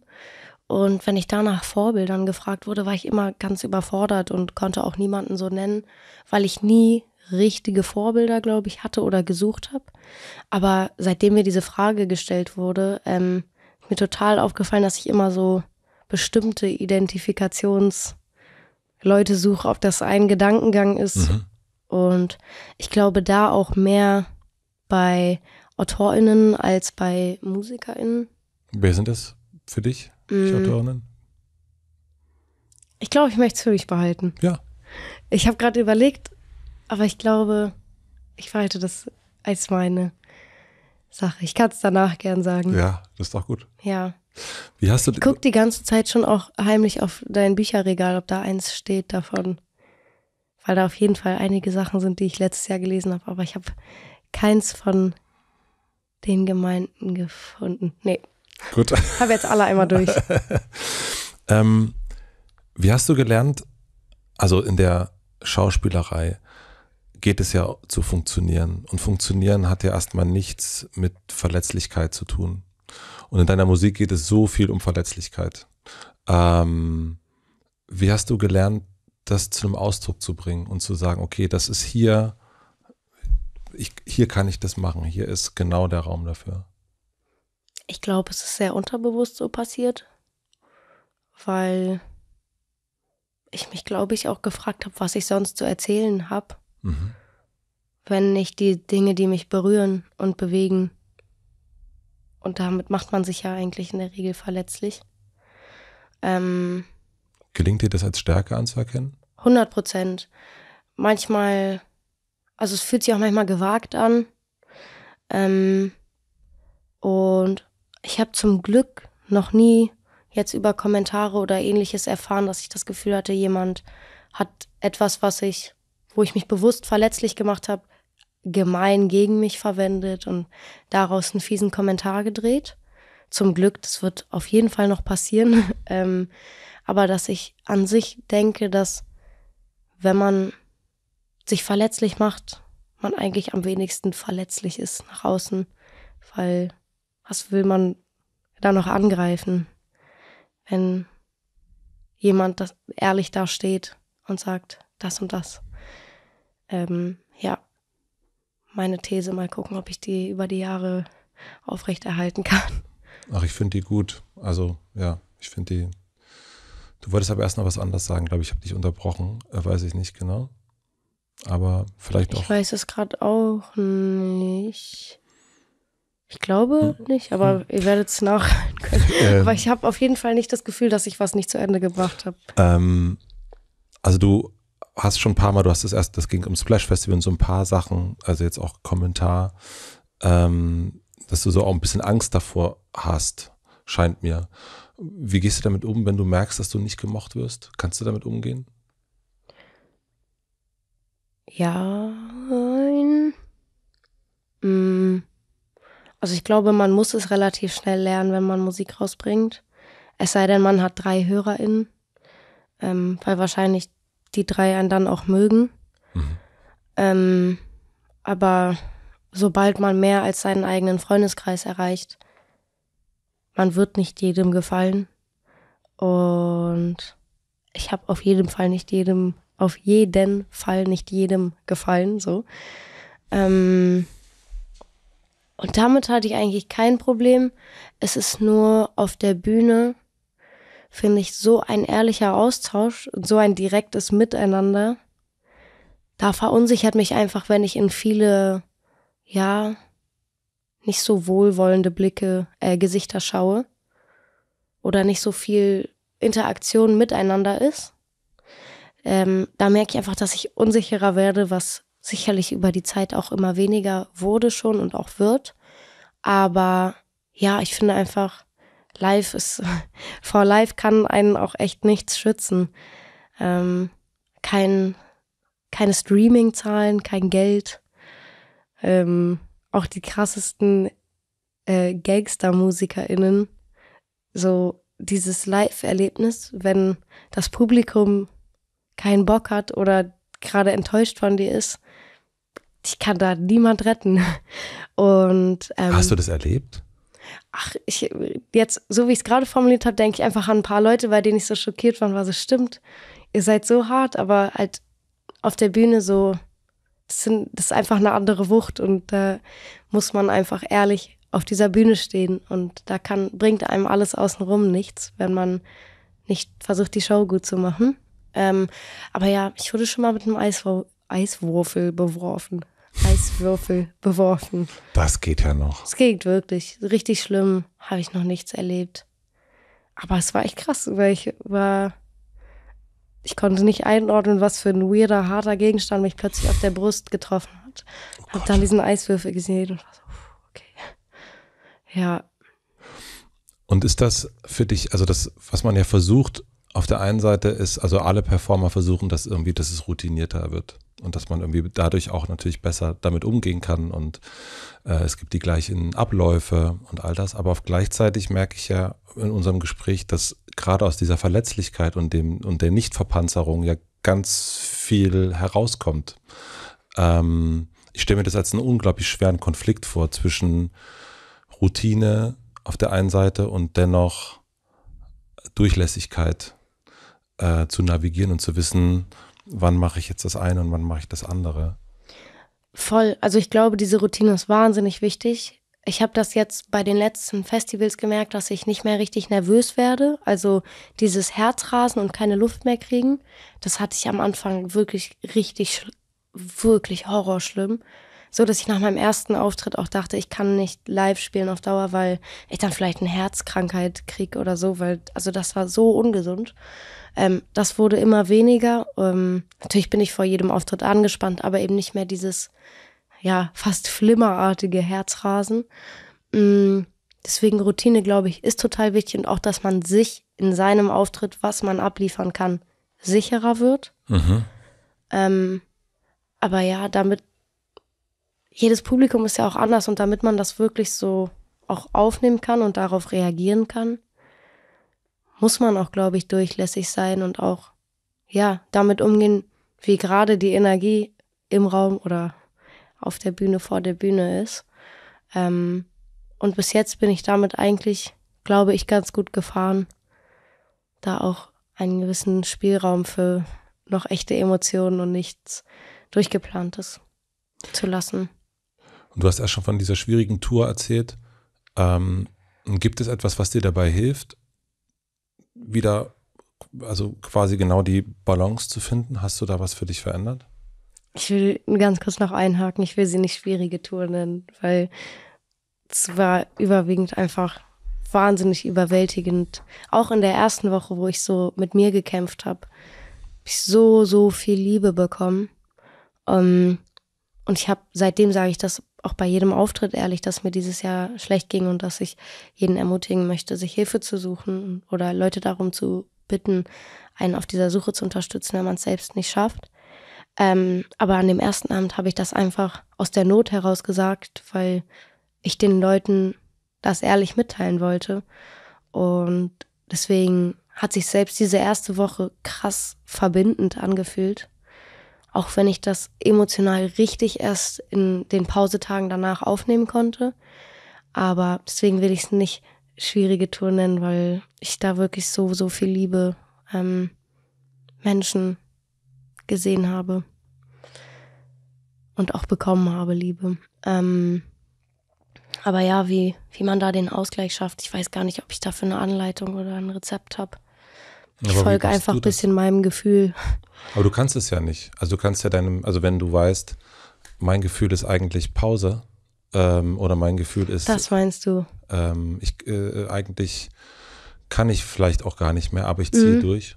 Gut, ich dachte, du meinst jetzt auf der Bühne, wie man mit Sachen umgeht, aber dann hast du vollkommen recht, dann kann ich es auf jeden Fall. Also dann kann ich erst recht keine Anleitung dazu geben, ähm, weil ich glaube, ich müsste mir erst zwei Beine brechen, bis ich so Dinge absagen könnte, die ich schon zugesagt habe. Ich glaube, das würde eher auf die Zukunft Konsequenzen für mich ähm, auslösen, dass ich mich versuche nicht zu übernehmen. Ähm, aber in dem Moment kann ich das ganz schlecht, das stimmt. Ich hoffe, ich lerne es noch, aber dazu kann ich zumindest jetzt gerade überhaupt keine Tipps geben. Also es gibt keine Strategie, du versuchst einfach, du ziehst durch und äh, guckst. Und ehrlich sein. Halt. Also ja. ich kann es nur wirklich für die Bühne selber und auch außenrum. Mein Team war wahnsinnig unterstützend. Ähm, und ich konnte auch bei denen ehrlich sein und denen ehrlich sagen, es ist gerade ganz schwierig, es tut mir leid, wenn ich so und so wirke oder so. Ähm, und ich das sehr, sehr lieb aufgefangen wurde. Mhm. Deswegen, bis jetzt versuche ich es einfach mit Ehrlichkeit. Du hast selber so einen äh, so so ein Hang zum Analogen, glaube ich, ne? Also zu, zu Kassetten, zu, ähm, äh, zu Analogfotografie auch. Ähm, woher kommt das? Woher kommt die Begeisterung dafür? Mm, ich glaube aus so einem Sehen nach was Langsamerem. Mhm. Ich bin absolut niemand, der soziale Medien, Handys, Medienkonsum verteufeln will. Das ist aus meiner Generation einfach auch ein bisschen frech gegenüber all den Möglichkeiten, die wir damit bekommen haben. Trotzdem glaube ich, dass es alles manchmal zu schnell geht, oder mir zumindest, und dass mein Gehirn dafür auch gar nicht gemacht ist. Ähm, dass man manchmal auch den Wert von bestimmten Dingen vergisst, gerade wie einem Foto zum Beispiel. Wenn ich, also als ich dieses Jahr in Urlaub gefahren bin, habe ich so gut wie gar keine Fotos auf dem Handy gemacht. Einfach zwei Filme mitgenommen und sogar nur einen verschossen. Aber immer wenn ich dann halt einen Moment hatte, den ich festhalten wollte und auch null mit dem Hintergedanken, dass das dann toll aussehen muss für irgendwas, dann einfach diese Urlaubserinnerung gerade behalten wollte.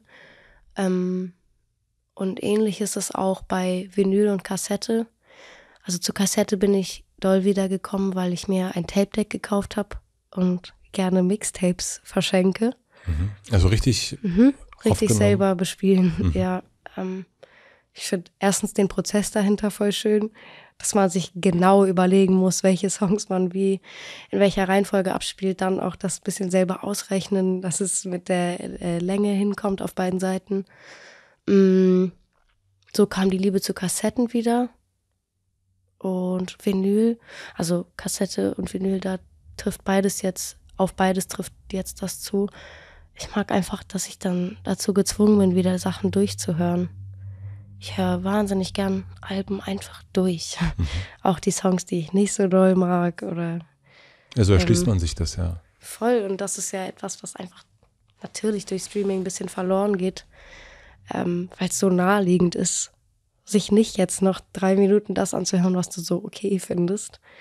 Ähm, ist das ein ja. Thema, diese Geschwindigkeit oder dieses zu schnell und auch zurück zum Analogen? Ist das etwas, was du bei vielen oder bei mehreren Leuten in, in deinem Alter, es hört sich so alt, alte Fragemäßig an, aber erlebst, dass das so eine, also ich merke zumindest, dass Analogfotografie ähm, wieder einen, einen Zuwachs hat? Mhm.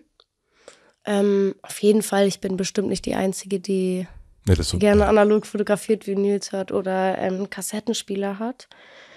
Ich glaube aber trotzdem, dass manche Sachen davon auch einfach gerade cool sind. Und das ist, ich weiß gar nicht, ob das, und also damit will ich niemandem was unterstellen. Ich weiß nur nicht, ob die Hauptintention so Verlangsamung ist. Oder vielleicht ist es genau das und mir geht es wirklich genau wie allen anderen, dass alle das als befreiend empfinden, wieder so Sachen zu haben, wo man sich überlegen muss, okay, wo halte ich jetzt ähm, die Kamera drauf, weil jedes Foto kostet mich Geld und ich muss es auch erst entwickeln lassen. Ich kann es jetzt nicht gleich verschicken, posten, irgendwas. Ähm, Vielleicht geht es allen so, ich weiß es nicht. Auf jeden Fall, klar, ich habe ähm, den Anstieg dieser Medien, kann man das sagen, auf jeden Fall auch gemerkt. Und schaffst du das im Urlaub dann auch wirklich dein Handy wegzulegen? Diesen Urlaub habe ich sehr gut geschafft, ja. Weil wir waren auch am Strand und da habe ich gar keinen Bock am Handy zu sein, richtig. Also ein bisschen war ich ähm, auf jeden Fall am Tag am Handy, aber glaube ich habe selten so eine niedrige Bildschirmzeit gehabt. Und das WLAN war auch wirklich schlecht. Wo warst du oder ihr? Das will ich nicht sagen. Ja, ja. Wie hast du, also du hast so ein, das finde ich total interessant, es gibt bei dir auf jeden Fall so eine, auf der einen Seite in der Musik eine unglaubliche Nähe, eine Verletzlichkeit und ähm, die sich, was ich dir auch schon erzählt habe, so total transportiert und dann gibt es aber so ganz bewusst Sachen, die du so, wo du sagst, nein, nein, nein, nein, nein. Und was ich also ne, no offense, ich finde es total super, wenn das jemand hat. Ähm, welche Notwendigkeit siehst du dahinter, das so zu haben? Also ich sehe zum Beispiel auch, dass du dich wenig aktivistisch äußerst. Ganz viele Künstler, Künstlerinnen ähm, posten Sachen, posten Kacheln, nehmen teil an aktuellen Debatten. Mhm. Ähm, und ich sehe das bei dir nicht. Ich sehe einfach nur bei dir, ich sehe so dich, ich sehe deine Kunst und nothing more. Voll, oh, das ist jetzt sehr viel auf einmal. Also zum ersten Teil, ich habe für mich gemerkt, dass ähm, ich habe mir leider keinen Künstlernamen ausgesucht. Das heißt, ich fühle mich auch immer persönlich angesprochen, wenn über Paula Hartmann gesprochen wird. Das macht Sinn. Ja, aber nicht alles, was Leute an Paula Hartmann richten, möchte ich persönlich nehmen. Ähm, und genauso möchte ich auch Dinge, die ich mache, die wirklich, also wo ich zum Beispiel Urlaub mache, hat nichts äh, mit Paula Hartmann zu tun, weder mit den Texten, die ich schreibe. Ähm, klar, und ich finde es völlig fein, wenn Leute das teilen und es kann ja auch eine Form von Menschen einfach daran teilhaben lassen, wie man ist und was man macht, zu tun haben. Aber eine Abgrenzung, dass ich auch nicht immer das sein muss, was es heißt, wenn man ähm, ja eine Person des öffentlichen Lebens ist. So ist so diese Privatisierung von mhm. bestimmten Themen oder dieses bei manchen Sachen für mich eine klare Abgrenzung von, nee, das möchte ich gerade nicht teilen, entstanden. Und zu dem Aktivismus, ähm, das ist auch aus einer Vorsicht heraus, weil ich das Gefühl habe, hm, wenn man anfängt zu teilen, und das ist wahnsinnig fies, ähm, der, der, ähm, der Mechanismus dahinter, weil Menschen, die viel teilen und helfen wollen, dann wiederum aber auch viel mehr kritisiert werden, als die, denen einfach alles egal ist. Das ist ähm, auf jeden Fall ein fieser Mechanismus, der einen aber auch, glaube ich, oft dann dazu bewegt, aus Druck Dinge zu teilen, von denen man gar nicht genug Ahnung hat. Und ich bin privat sehr politisch. Ich gehe auch privat auf Demos. Bei bestimmten Demos habe ich es auch in den letzten Jahren immer geteilt, wo ich hingegangen bin.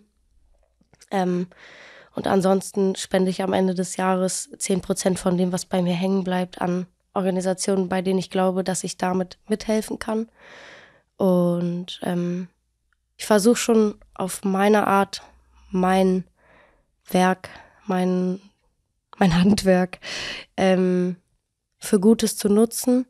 Allerdings ausgewählt, weil ich mich auch nicht zu einer Figur machen möchte, die dauernd von einer Gruppe zur nächsten Gruppe gejagt wird und sich ähm, dann einfach nur noch eine Fläche ist, die alles teilt, weil ich da schon auch oft, auch bei Leuten, die ich eigentlich sehr schätze und für reflektiert halte, so beobachtet habe, dass man sich aus einem falschen, aus einem falschen gedrängt werden heraus Dinge teilt, ohne eine richtige Meinung selber zu haben, aber einfach dann eine Meinung anzunehmen. Ja.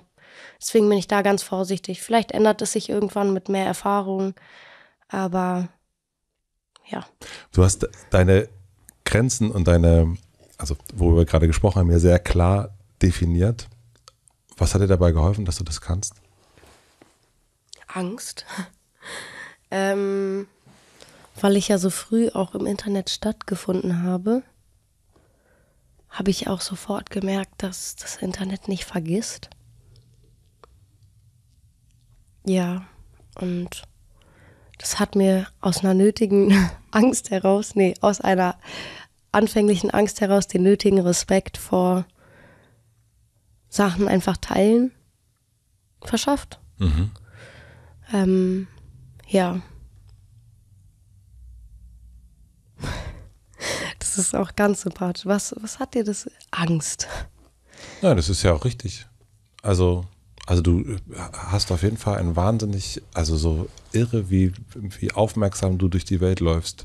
Also und die ganze Zeit guckst und ähm, und, und auch eine äh, und, und dir das nimmst, was du, was du daraus, was du brauchst. Das ist ähm, erstaunlich. Also finde ich. I'm trying. Ja. Wenn du jetzt Musik machst, wenn du neue Musik machst, du hast ja schon so ein bisschen darüber erzählt. Ähm, das meistens ist es ja so, wenn Menschen ein erstes Album machen, dann ähm, ist das Material ein ganzes Leben. Und wenn sie ein zweites Album machen, ist das meistens ein Jahr. Ähm, was ist dein größter Kampf, den du da gerade kämpfst? Ich fühle es genau andersrum. Sehr gut. Bei Nie verliebt habe ich nur beschrieben, was in dem Moment passiert ist, alles. Und auch aus so einer Angst heraus, ich will gar nicht weiter irgendwie irgendwas von mir zeigen. Ähm, ich wusste ja auch gar nicht, wie das weitergeht. Deswegen wollte ich einfach in dem Moment das, was ich da gerade ähm, runterzuschreiben hatte, machen. Mm. Und jetzt fürs zweite Album habe ich mich am Anfang ganz doll gefragt, ob ich überhaupt noch was weiter erzählen will oder nicht. Ähm, also du hast dich gefragt, ob du überhaupt noch mal neue Musik machst? Voll. Und ich glaube, ich werde mich das bei jedem Album fragen. Vielleicht endet es auch nach dem nächsten. Vielleicht mache ich noch 800 Alben, keine Ahnung. Ähm, aber ich habe diesmal auf so viel mehr zugegriffen und auch so viel mehr für mich ehrlich, ja, mich auseinandergesetzt mit. Ähm, ich will nicht zu viel vom Album verraten, weil ich auch noch nicht weiß, wie das Endergebnis ja dann aussieht. Aber ich hatte zumindest das Gefühl, ich habe jetzt deutlich mehr, wo ich bereit bin, Dinge zu beschreiben. Mm. Aber der größte Kampf mit diesem Album war, glaube ich, das Anfang, weil so viele Möglichkeiten hatte. Ich wusste viel mehr, was ich will jetzt, was es natürlich aber auch viel schwerer macht. Ähm, wenn man es nicht gut genug äußern kann oder das mehr in Gefühlen ausdrücken kann. Ähm und es hat es gleichzeitig, wie gesagt, erleichtert, aber auch erschwert, weil ich, ja, ich glaube, das zweite Album, ich merke zumindest, dass ich selbstbewusster daran gearbeitet habe. Ähm was richtig befreiend, aber auch beängstigend ist, weil ich glaube, ich auch immer aus so einer Angst heraus, zu viel zu sein oder zu viel, zu doll irgendwas ähm, zu wollen, sowohl jetzt die Musik an sich, aber auch in der ganzen Arbeit oder so, ähm, mich immer so sehr künstlich so ab meinem 13., 14. Lebensjahr gezwungen habe, so einfach ja, zurückhaltender da hingehen zu sein, einfach für mich in meinem Kopf. Also das heißt, dass du deine deine Erwartungen, die du hast oder deine Ansprüche, dass du versuchst, die zurückzuschrauben oder wie? Voll und ähm, einfach bei Dingen, bei denen ich auch gar nicht so richtig Ahnung habe. Und das hatte ich ja bei meinem ersten Album nicht. Ich wusste überhaupt nicht, wie man ein Album schreibt, wie man da rangeht oder so. Dass ich erstmal, ähm, ja, so ganz unvoreingenommen reingegangen bin und dann geguckt habe, wie sich der Weg angefühlt hat. Und als wir das Album hatten und es sich wie ein fertiges Album angefühlt hat, haben wir das Album rausgebracht. Ähm, und diesmal hatte ich natürlich 800 Vorstellungen, in welche Richtung ich was erzählen möchte und wie ich das ausdrücken möchte und mit welchem Instrumental und ähm, ja, auch ob Features oder nicht und so viel mehr einfach, weil ich auch ja mehr wusste, was die Möglichkeiten sind, dass ich von vornherein auch viel mehr mit so Richtungswegen ähm, reingegangen bin, als okay, ich setze mich hin und gucke jetzt, wo, wohin uns dieses Album bringt. Ja. Welche Rolle spielen im künstlerischen Prozess die Zahlen, der Erfolg, der Vergleich zu dem, was vorher war, was sein könnte? Oh, zu vorher ist spannend, weil natürlich beim ersten Album man sich freut, wenn es immer mehr wächst, was jetzt bei mir auch nicht ähm, ja, exponentiell gewachsen ist, aber dass einfach die Erkenntnis, dass immer ein paar mehr Leute dabei sind, war natürlich schön. Aber ansonsten, und ich will mich auf gar keinen Fall davon freisprechen, dass man sich nicht vergleicht. Ähm, das war aber sogar eine schöne Erkenntnis, dass ich gemerkt habe, ich vergleiche mich nicht nur mit Frauen, was man ja als Jugendliche oft vielleicht ähm, eher tut. Ähm, und das ist auf jeden Fall etwas, was man lernen muss. Sich Aber, nicht zu vergleichen, oder? Ja, also hm. nicht ungesund. Man kann ja trotzdem, und ich meine, ich habe ja auch wahnsinnig viele FreundInnen jetzt, in, auch in meinem Alter, die auch Dinge machen. Ähm, deswegen ist es eigentlich nicht mehr so ein ungesundes Vergleichen. Ähm, was ein schöner Prozess ist, aber natürlich, wenn das dein Lebensinhalt ist, ist es total schwierig, gar nicht zu gucken, was links und rechts passiert. Ähm, was ich aber mir ein bisschen aufgezwungen habe für das Album. Ich habe fast gar keine deutschen Releases gehört seit September, weil ich, ich wollte überhaupt nicht wissen, was Leute sagen. Ähm, weil es ist auch super oft passiert, dass ähm, Bistram dann geschickt hat, dass da und da gleiche Sätze sind wie bei uns, was natürlich ultra frustrierend ist, mhm. wenn du irgendwie dann insgesamt bis alles irgendwie anfängt zu rollen anderthalb bis zwei Jahre vergehen und in der Zeit Leute genau das Gleiche sagen, ohne. Und man kommt später damit raus. Ähm, deswegen habe ich echt versucht, einfach da mich ein bisschen abzuschotten, ähm, um aber auch nicht unterbewusst beeinflusst zu werden und Dinge, die ich schon mal gehört habe, vielleicht unterbewusst zu reproduzieren. Ähm, aber ja, zurück zu den Zahlen. Ähm, ich habe relativ früh irgendwie für mich gemerkt, vielleicht aus gezwungenermaßen auch, weil ich einfach kein Streaming-Wunder ähm, war. Bei mir lief es von Anfang an total schön. Also ich möchte mich 0,0 ähm, in eine schlechte Position stellen. Ich hatte wahnsinnig viel Glück und ähm, ja, keine schwierige Position, aber bin eben kein, ähm, kein Streaming-Projekt. Zumindest bis jetzt ist das nicht, woran ich das messen kann. Aber vielmehr das Gefühl, dass es wirklich organisch wächst, dass ähm, ja mein erstes eigenes Konzert letztes Jahr habe ich 300 Tickets verkauft. Das war auch ein 300er Ort, aber da haben wir auch gearbeitet, um die zu verkaufen. Also es war nicht so, oh, hier, ich spiele da und dann war es ausverkauft. Und ähm, knappes Jahr später hatten wir dasselbe mit 900.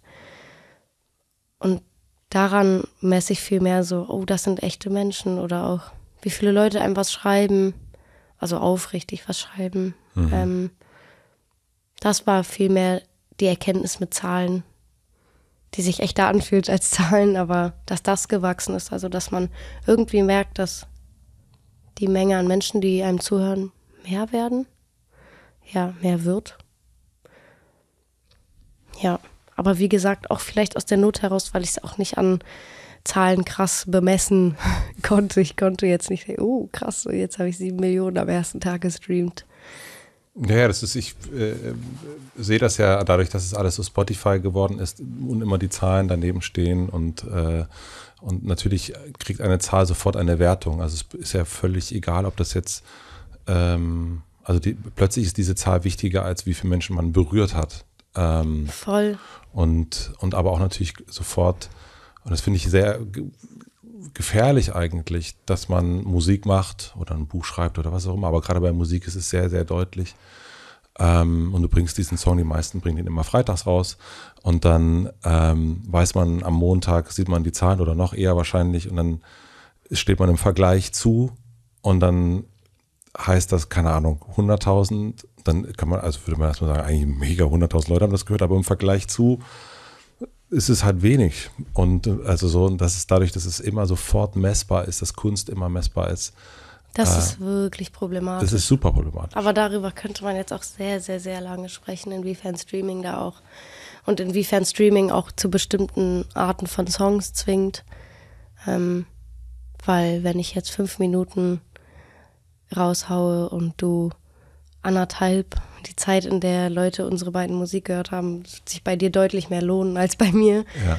Ähm, aber ja, ich versuche sehr doll eigentlich meine Energie gar nicht so doll darauf zu lenken, weil es einfach frustrierend ist. Mhm. Ähm, ich glaube für alle, auch für, wenn man krasses Streaming-Wunder ist, vergleicht man sich ja auch immer mit dem krassesten, mit dem man gestreamt hat. Und das ist genauso ein Knast. Also ähm, das an Zahlen zu messen. Und wie gesagt, weil ich es von Anfang an irgendwie musste, weil ich gemerkt habe, es läuft wahnsinnig schön bei uns, aber ich kann das nicht an diesen Zahlen messen, habe ich meine Dankbarkeit irgendwie woanders her geschöpft. Ähm, auch vergleichbar finde ich damit, ich habe letztes Jahr viel Support gespielt. Mhm. Und man sieht dann oft, oh, äh, bei dem und dem Künstler sind alle dabei, alle springen, alle machen die Arme nach links, rechts, alle haben irgendwie ähm, ihre Handylichter an oder so. Und ich habe aber letztes Jahr einmal in Hamburg Support gespielt und habe eine Person im Publikum gesehen. Ich habe ihm im Gesicht angesehen, dass er mich nicht kannte und dass er gerade berührt war. Das hatte ich vorher noch nie, obwohl das, glaube ich, mein 30. Konzert war oder so. Aber dass ich gesehen habe, dass das gerade irgendwas mit ihm gemacht hat. Vielleicht fand er es auch schrecklich und ich habe es falsch interpretiert, seinen Blick. Aber das hat was mit mir gemacht, dass ich so dachte, oh, das ist viel mehr wert. Auch wenn es super hell war, irgendwie wahrscheinlich 60 Prozent der Leute geredet haben oder so, wenn man ein paar Leute ehrlich berühren konnte, ähm, was mir teilweise auch Leute auf der Tour gesagt haben, daraus habe ich so viel mehr Wert gezogen, als ähm, ja, abends zu gucken, wie viele Leute aktuell den Song streamen. Weil das auch so was wenig Greifbares ist. Also, mh, mm, das ist auch alles so ein komisches Dopamin-Hamsterrad ähm, was sich ja nie wirklich glücklich macht. Also, wie gesagt, auch bei den Leuten, die dann krass streamen, irgendwann wird der Song auch wieder weniger gestreamt. Und wie kommst du dann da runter? Du hast dich ja jetzt daran gewöhnt, dass so und so viele Leute den gerade hören, aber es wird irgendwann weniger. Genauso wie mit den Spotify-monatlichen HörerInnen. Ähm, klar, wenn man gerade, also auch jetzt bei mir nach dem Trettmann-Song, habe ich die eine Million Hörer geknackt, war irgendwie bei 1,2 oder 1,3. Ähm, aber das geht irgendwann wieder runter, wenn man gerade auch nichts liest und so. Aber das ist ja ganz normal. Aber würde ich daran meinen Selbstwert gerade die ganze Zeit aufhängen, wäre ich, glaube ich, schon lange nicht mehr dabei. Du hast dich imaginiert mit, sech, äh, mit sechs auf dem, ähm, auf dem äh, Basketballplatz. Ähm, wohin imaginierst du dich jetzt gerade? Momentan viel zur zweiten Tour. Ich weiß auch nicht ja gerade erst die erste gespielt, aber ähnlich wie beim zweiten Album kommt mir jetzt so alles in Sinn, was ich nächstes Mal alles machen kann. Und Wann möchte. findet die statt? Möchtest du nicht sagen? es, es steht noch in den Sternen, aber ganz bald nicht mehr. Es steht bald nicht mehr in den Sternen? Mhm. Okay. Bald steht es auf meiner Instagram-Seite. Apropos, hier ist sie eingeblendet. Wehe, da sind nicht genug Likes drauf. Wehe, dann ist es aber wirklich. Wehe, da sind nicht genug Likes. Äh, mehr Likes als auf der letzten Tourankündigung. Und dann höre ich auf. Dann hörst du auf, ja. Entweder es wird, geht so, entweder. Es geht immer nur bergauf. Oh, nur. das ist etwas, was ich echt gerne mal sagen wollen würde. Weil darauf hat mich, glaube ich, der Nanny richtig gut vorbereitet. Ähm, der Film mit ja, Matthias Schweiger. Und die Wirkung von außen, was es heißt, was es in deinem Umfeld verändert, bisschen bekannter zu sein. Auch wenn es nur so minimal ist, es verändert sich das Umfeld so merkwürdig. Ähm, aber vor allem, was sowas wie Followerzahlen oder auch einfach wie relevant man ist, wo man eingeladen wird, ähm, diesen ganzen Quatsch, diesen ganzen Zirkus, ähm, dass ich das alles einmal erlebt habe in super, super kleinem Kreis. Also ich war weder berühmt, äh, noch wurde ich jeweils irgendwie richtig auf der Straße angesprochen. Ich glaube dreimal in meinem Leben, äh, so, also gar nicht das, aber einfach diese Followerzahlen, wenn du mit 14 plötzlich aus dem Nichts, ähm, ich weiß gar nicht genau, wie viele es waren, ob 16.000 oder 17.000 Follower. Ähm, was jetzt ja auch nicht ganz Deutschland ist. Aber das ist halt nach dem Film, weil ich auch nicht mehr so was Großes gedreht habe, über die Jahre immer weniger geworden. Nicht schnell oder so. Und ich hatte auch nicht das Gefühl, ich habe irgendwas gemacht, um Leute zu verscheuchen, wo eine Reaktion drauf kam oder so. Aber dass ich richtig diesen Effekt so jung und ja, ich will nicht unreflektiert, aber man erlebt ja mit 15 Sachen auch deutlich purer an Emotionen als ja. vielleicht jetzt. Ähm, dass ich das einmal mitgemacht habe. Aber es ging ja alles danach weiter. Also ähm, es war nicht mein Weltuntergang, aber dass das etwas ist, was ich bei KünstlerInnen ganz viel beobachte, die älter sind und aber auch eben viel, viel erfolgreicher ähm, als meine kleine Followerschaft da, an der ich dieses Gefühl einmal haben durfte. Aber dass, wenn man seinen Selbstwert, also ich glaube, Teil dieses Jobs, und das kann jeder Job im, im öffentlichen Auge sein, ist, dass es in einer Welle kommt oder vielleicht in mehreren Wellen aber man wird niemals so relevant sein wie zu seinem Peak. Billie Eilish wird auch nicht für immer so relevant sein. Es wird immer irgendwann weniger. Vielleicht dann mal wieder mehr, aber es wird immer irgendwann weniger. Aber wenn man ein Mensch ist, der sich, ja, der sein Selbstwert daran bemisst oder sich so daran gewöhnt hat und das braucht, dass es hier bleibt, geht man so krass, glaube ich, bei diesem Downfall kaputt. Ähnlich wie jetzt vielleicht mit den Zahlen, deswegen kam ich gerade drauf mit diesem Spotify-Ding, aber dass das etwas ist, was ich mir echt ganz, ganz, ganz doll vornehme und mir oft ähm, vor Augen führe, auch wenn ich gerade nicht vorhabe, meine Karriere zu beenden, aber dass ich sowohl versuche, ich freue mich, wenn das Projekt gut läuft, aber dass ich nicht meinen Selbstwert an diesen Relevanzwellen versuche festzumachen, weil ich glaube, dass der Weg runter dann sehr, sehr hart wird, auch für sein Umfeld. Ja. Ich glaube, man kann nur ähm, weitermachen, wenn man darauf Bock hat. Also ich glaube. Aber man hat ja nicht immer in der Hand, wie relevant man dann. Also ich finde, es gibt nichts Schlimmeres, als Leuten dabei zuzugucken, wie sie ganz doll versuchen weiterzumachen, weil sie wieder versuchen, an ein Level zu kommen. Ähm, Na, das ist, wenn du das, wenn du es an einem Level festmachst, ja. Aber ich habe ähm, na, wir haben erst schon ganz kurz über Patti Smith geredet und das ist eine Künstlerin, die, ich weiß nicht, wie viele Jahrzehnte sie schon Musik macht. Und ähm, der größte Hit von ihr war in den 80ern. Und sie spielt aber trotzdem noch in der Zitadelle, wenn sie hier in Berlin ist. Ähm, und und wenn sie ein Buch veröffentlicht, dann, dann lesen das mal mehr, mal weniger Menschen. Aber das ist ja nicht, das kannst du ja einfach nie kontrollieren. Was du immer kontrollieren kannst, ist das, was du reingibst. Und das ist das, was ich bei, einer, bei einem Künstler, einer Künstlerin, die ich, die ich lange beobachte oder die ich lange höre, das merke ich dann immer. Also dann gibt es mal ein Album, ich bin riesen Coldplay-Fan. Ähm, und dann denke ich, ach, naja, das war nichts für mich.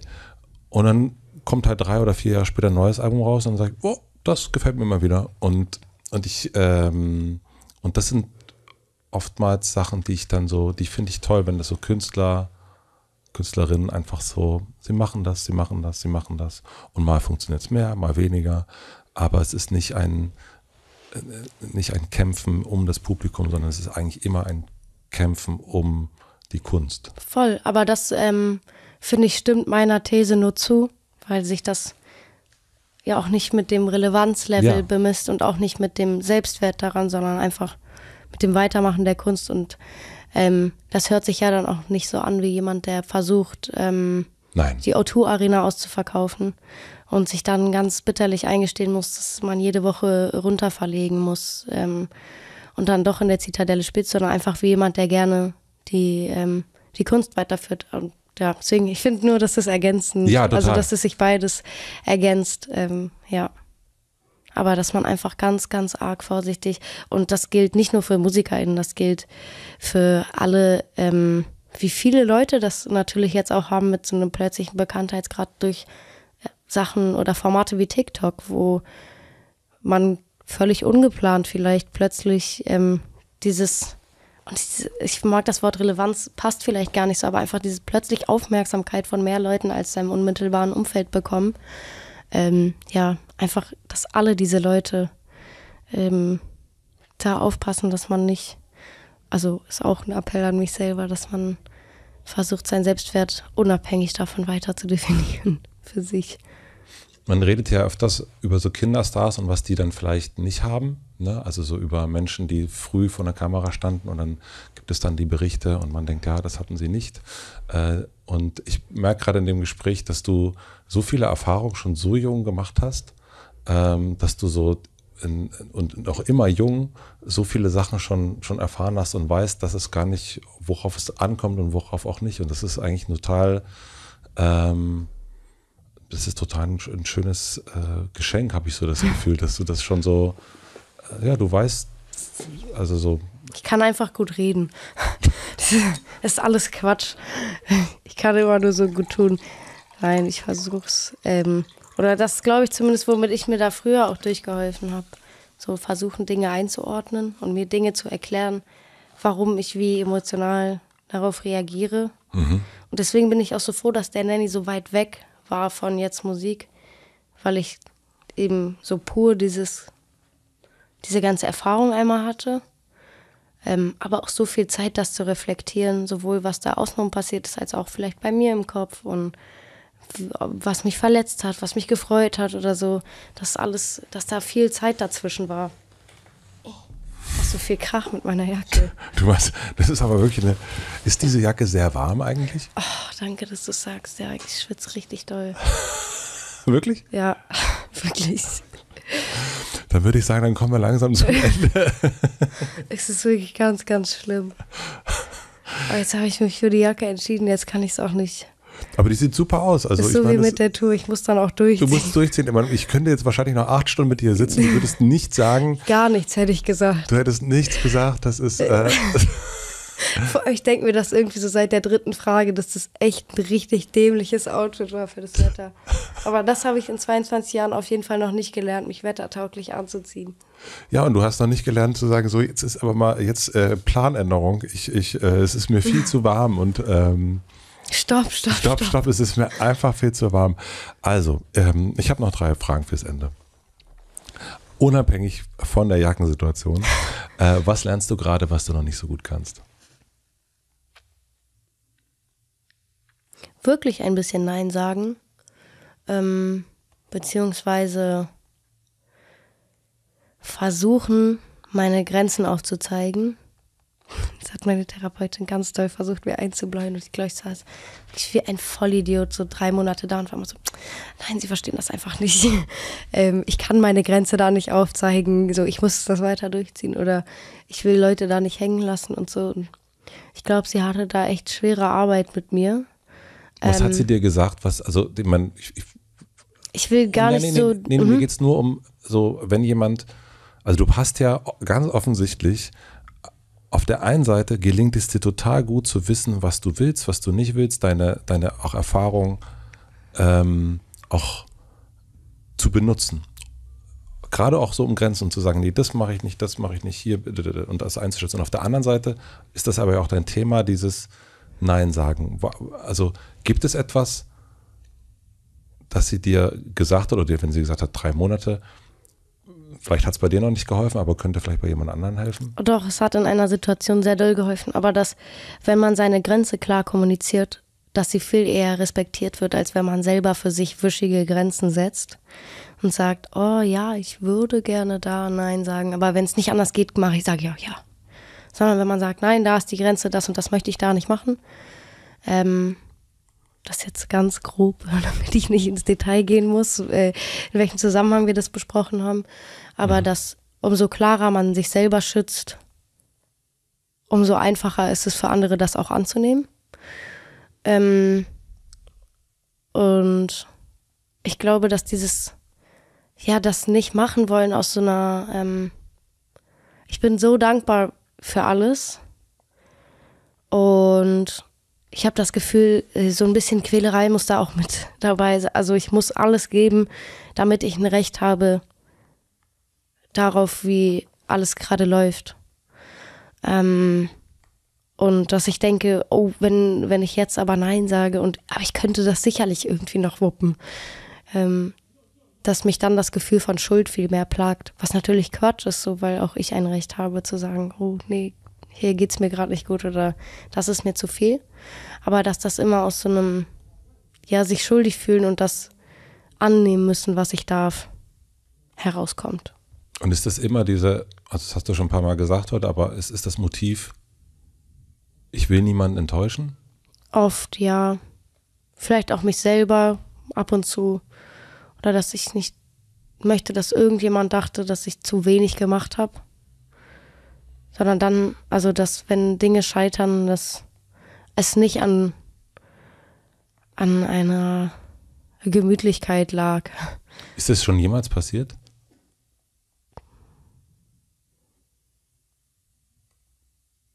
Vielleicht bei bestimmten Live-Auftritten. Ja. Wobei ich glaube zwar, nee, das ist keine Gemütlichkeit, ist mehr so auf Anspannung vorher zu viel trinken. Das ist auf jeden Fall was, was man schnell lernen muss in diesem Job. Das nicht zu normalisieren. Ähm, aber das dann auch keine Gemütlichkeit. Hm. Aber ja, bestimmt, mir fällt nur gerade kein. Kein Beispiel ein. Doch, meine Bachelorarbeit letztes Jahr. Wobei es auch da nicht richtig Faulheit war, sondern mein Album kam da gerade raus. Aber da bin ich auf jeden Fall durchgefallen. Das will ich dieses Jahr versuchen nicht zu tun. Ich bereite mich gerade auf ein Interview vor mit einem ähm, mit einem sehr berühmten Trainer. Und da geht es, also bei Fußballtrainern geht es ja meistens um so einen Sieg. Eigentlich ist das am Ende so, dass wir wollen diese Liga gewinnen oder diese Weltmeisterschaft. Und das ist so ein ganz klares Ziel. Und dafür geht es immer so, wir geben heute alles, die Motivationssprüche, wir haben vorher alles gegeben und heute nochmal alles. Und das ist auch immer das, was danach, wenn es die Kommentare gibt, ja, wir haben heute alles gegeben. Ähm, und da geht es aber um diesen Sieg. Da geht es um 1 zu 0 oder Tabellenerster zu sein.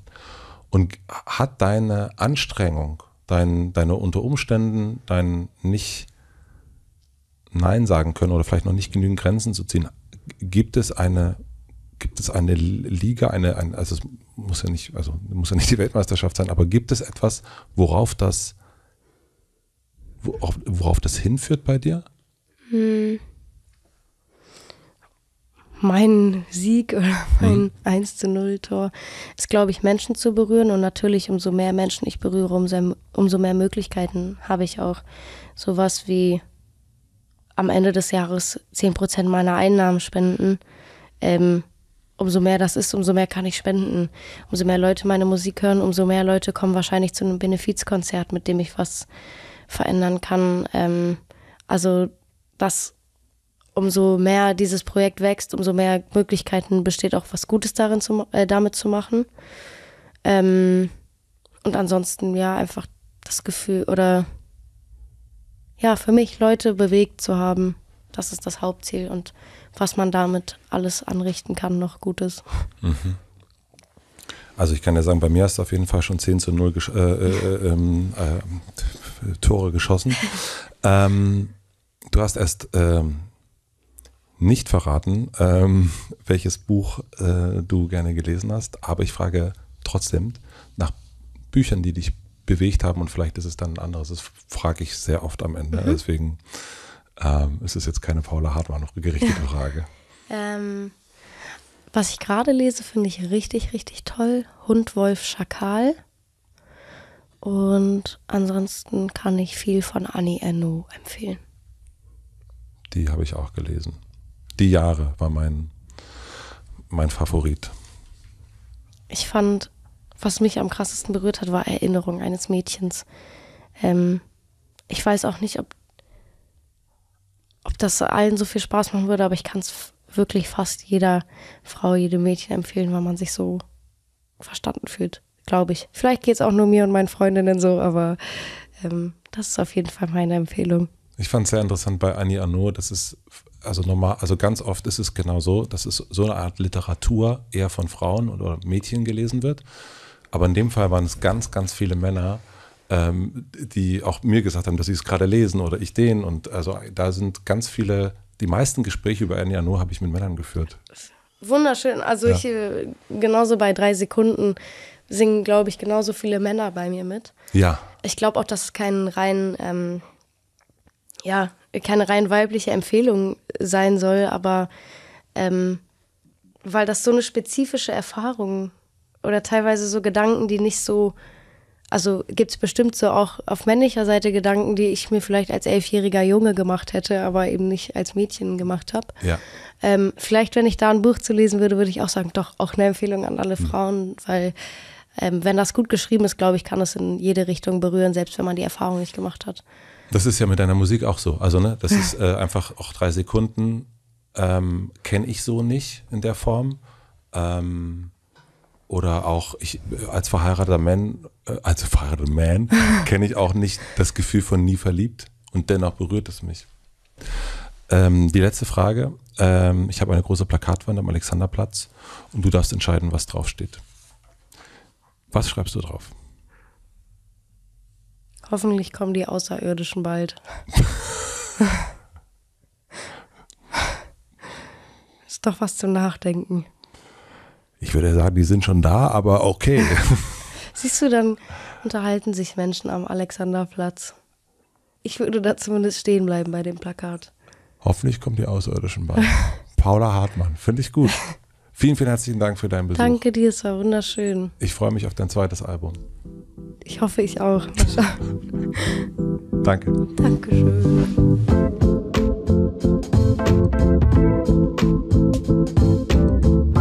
Das war Paula Hartmann. Vielen, vielen herzlichen Dank fürs Zuhören.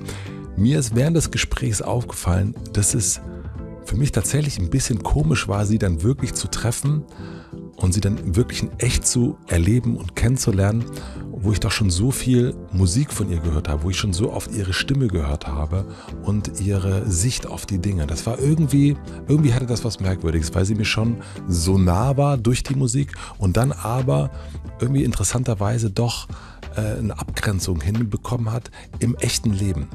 Und es ist etwas, was ich so selten bisher erlebt habe, dass jemand mich emotional so packt, auf der anderen Seite es aber schafft, äh, da seine Grenzen zu ziehen. Ich weiß auch nicht, wie sie das macht. Ist auf jeden Fall ein großes Kunststück. Ich freue mich extremst und bin sehr, sehr gespannt auf die neuen Sachen. Ich durfte schon ein bisschen was hören. Die Leute, die auf den Konzerten waren, auch. Und äh, wie sie selber auch sagt, es geht definitiv noch emotionaler weiter. Wenn ihr Lust habt auf ein weiteres Gespräch hier im Hotel Matze, dann möchte ich euch das Gespräch mit Moritz Neumeier empfehlen. Da reden wir auch über Gefühle und anders als Paula hat er nicht so einen richtigen Zugang zu Gefühlen. Ich glaube, es ist eine spannende Ergänzung. Ich möchte mich herzlich bedanken bei Maximilian Frisch für den Mix und den Schnitt, bei Lena Rocholl für die redaktionelle Unterstützung und bei Jan Köppen und Andy Finz für die Musik. Ich freue mich, wenn wir uns hier bald wieder hören. Ich wünsche euch noch einen schönen Tag, eine gute Nacht. Bis dahin, euer Matze.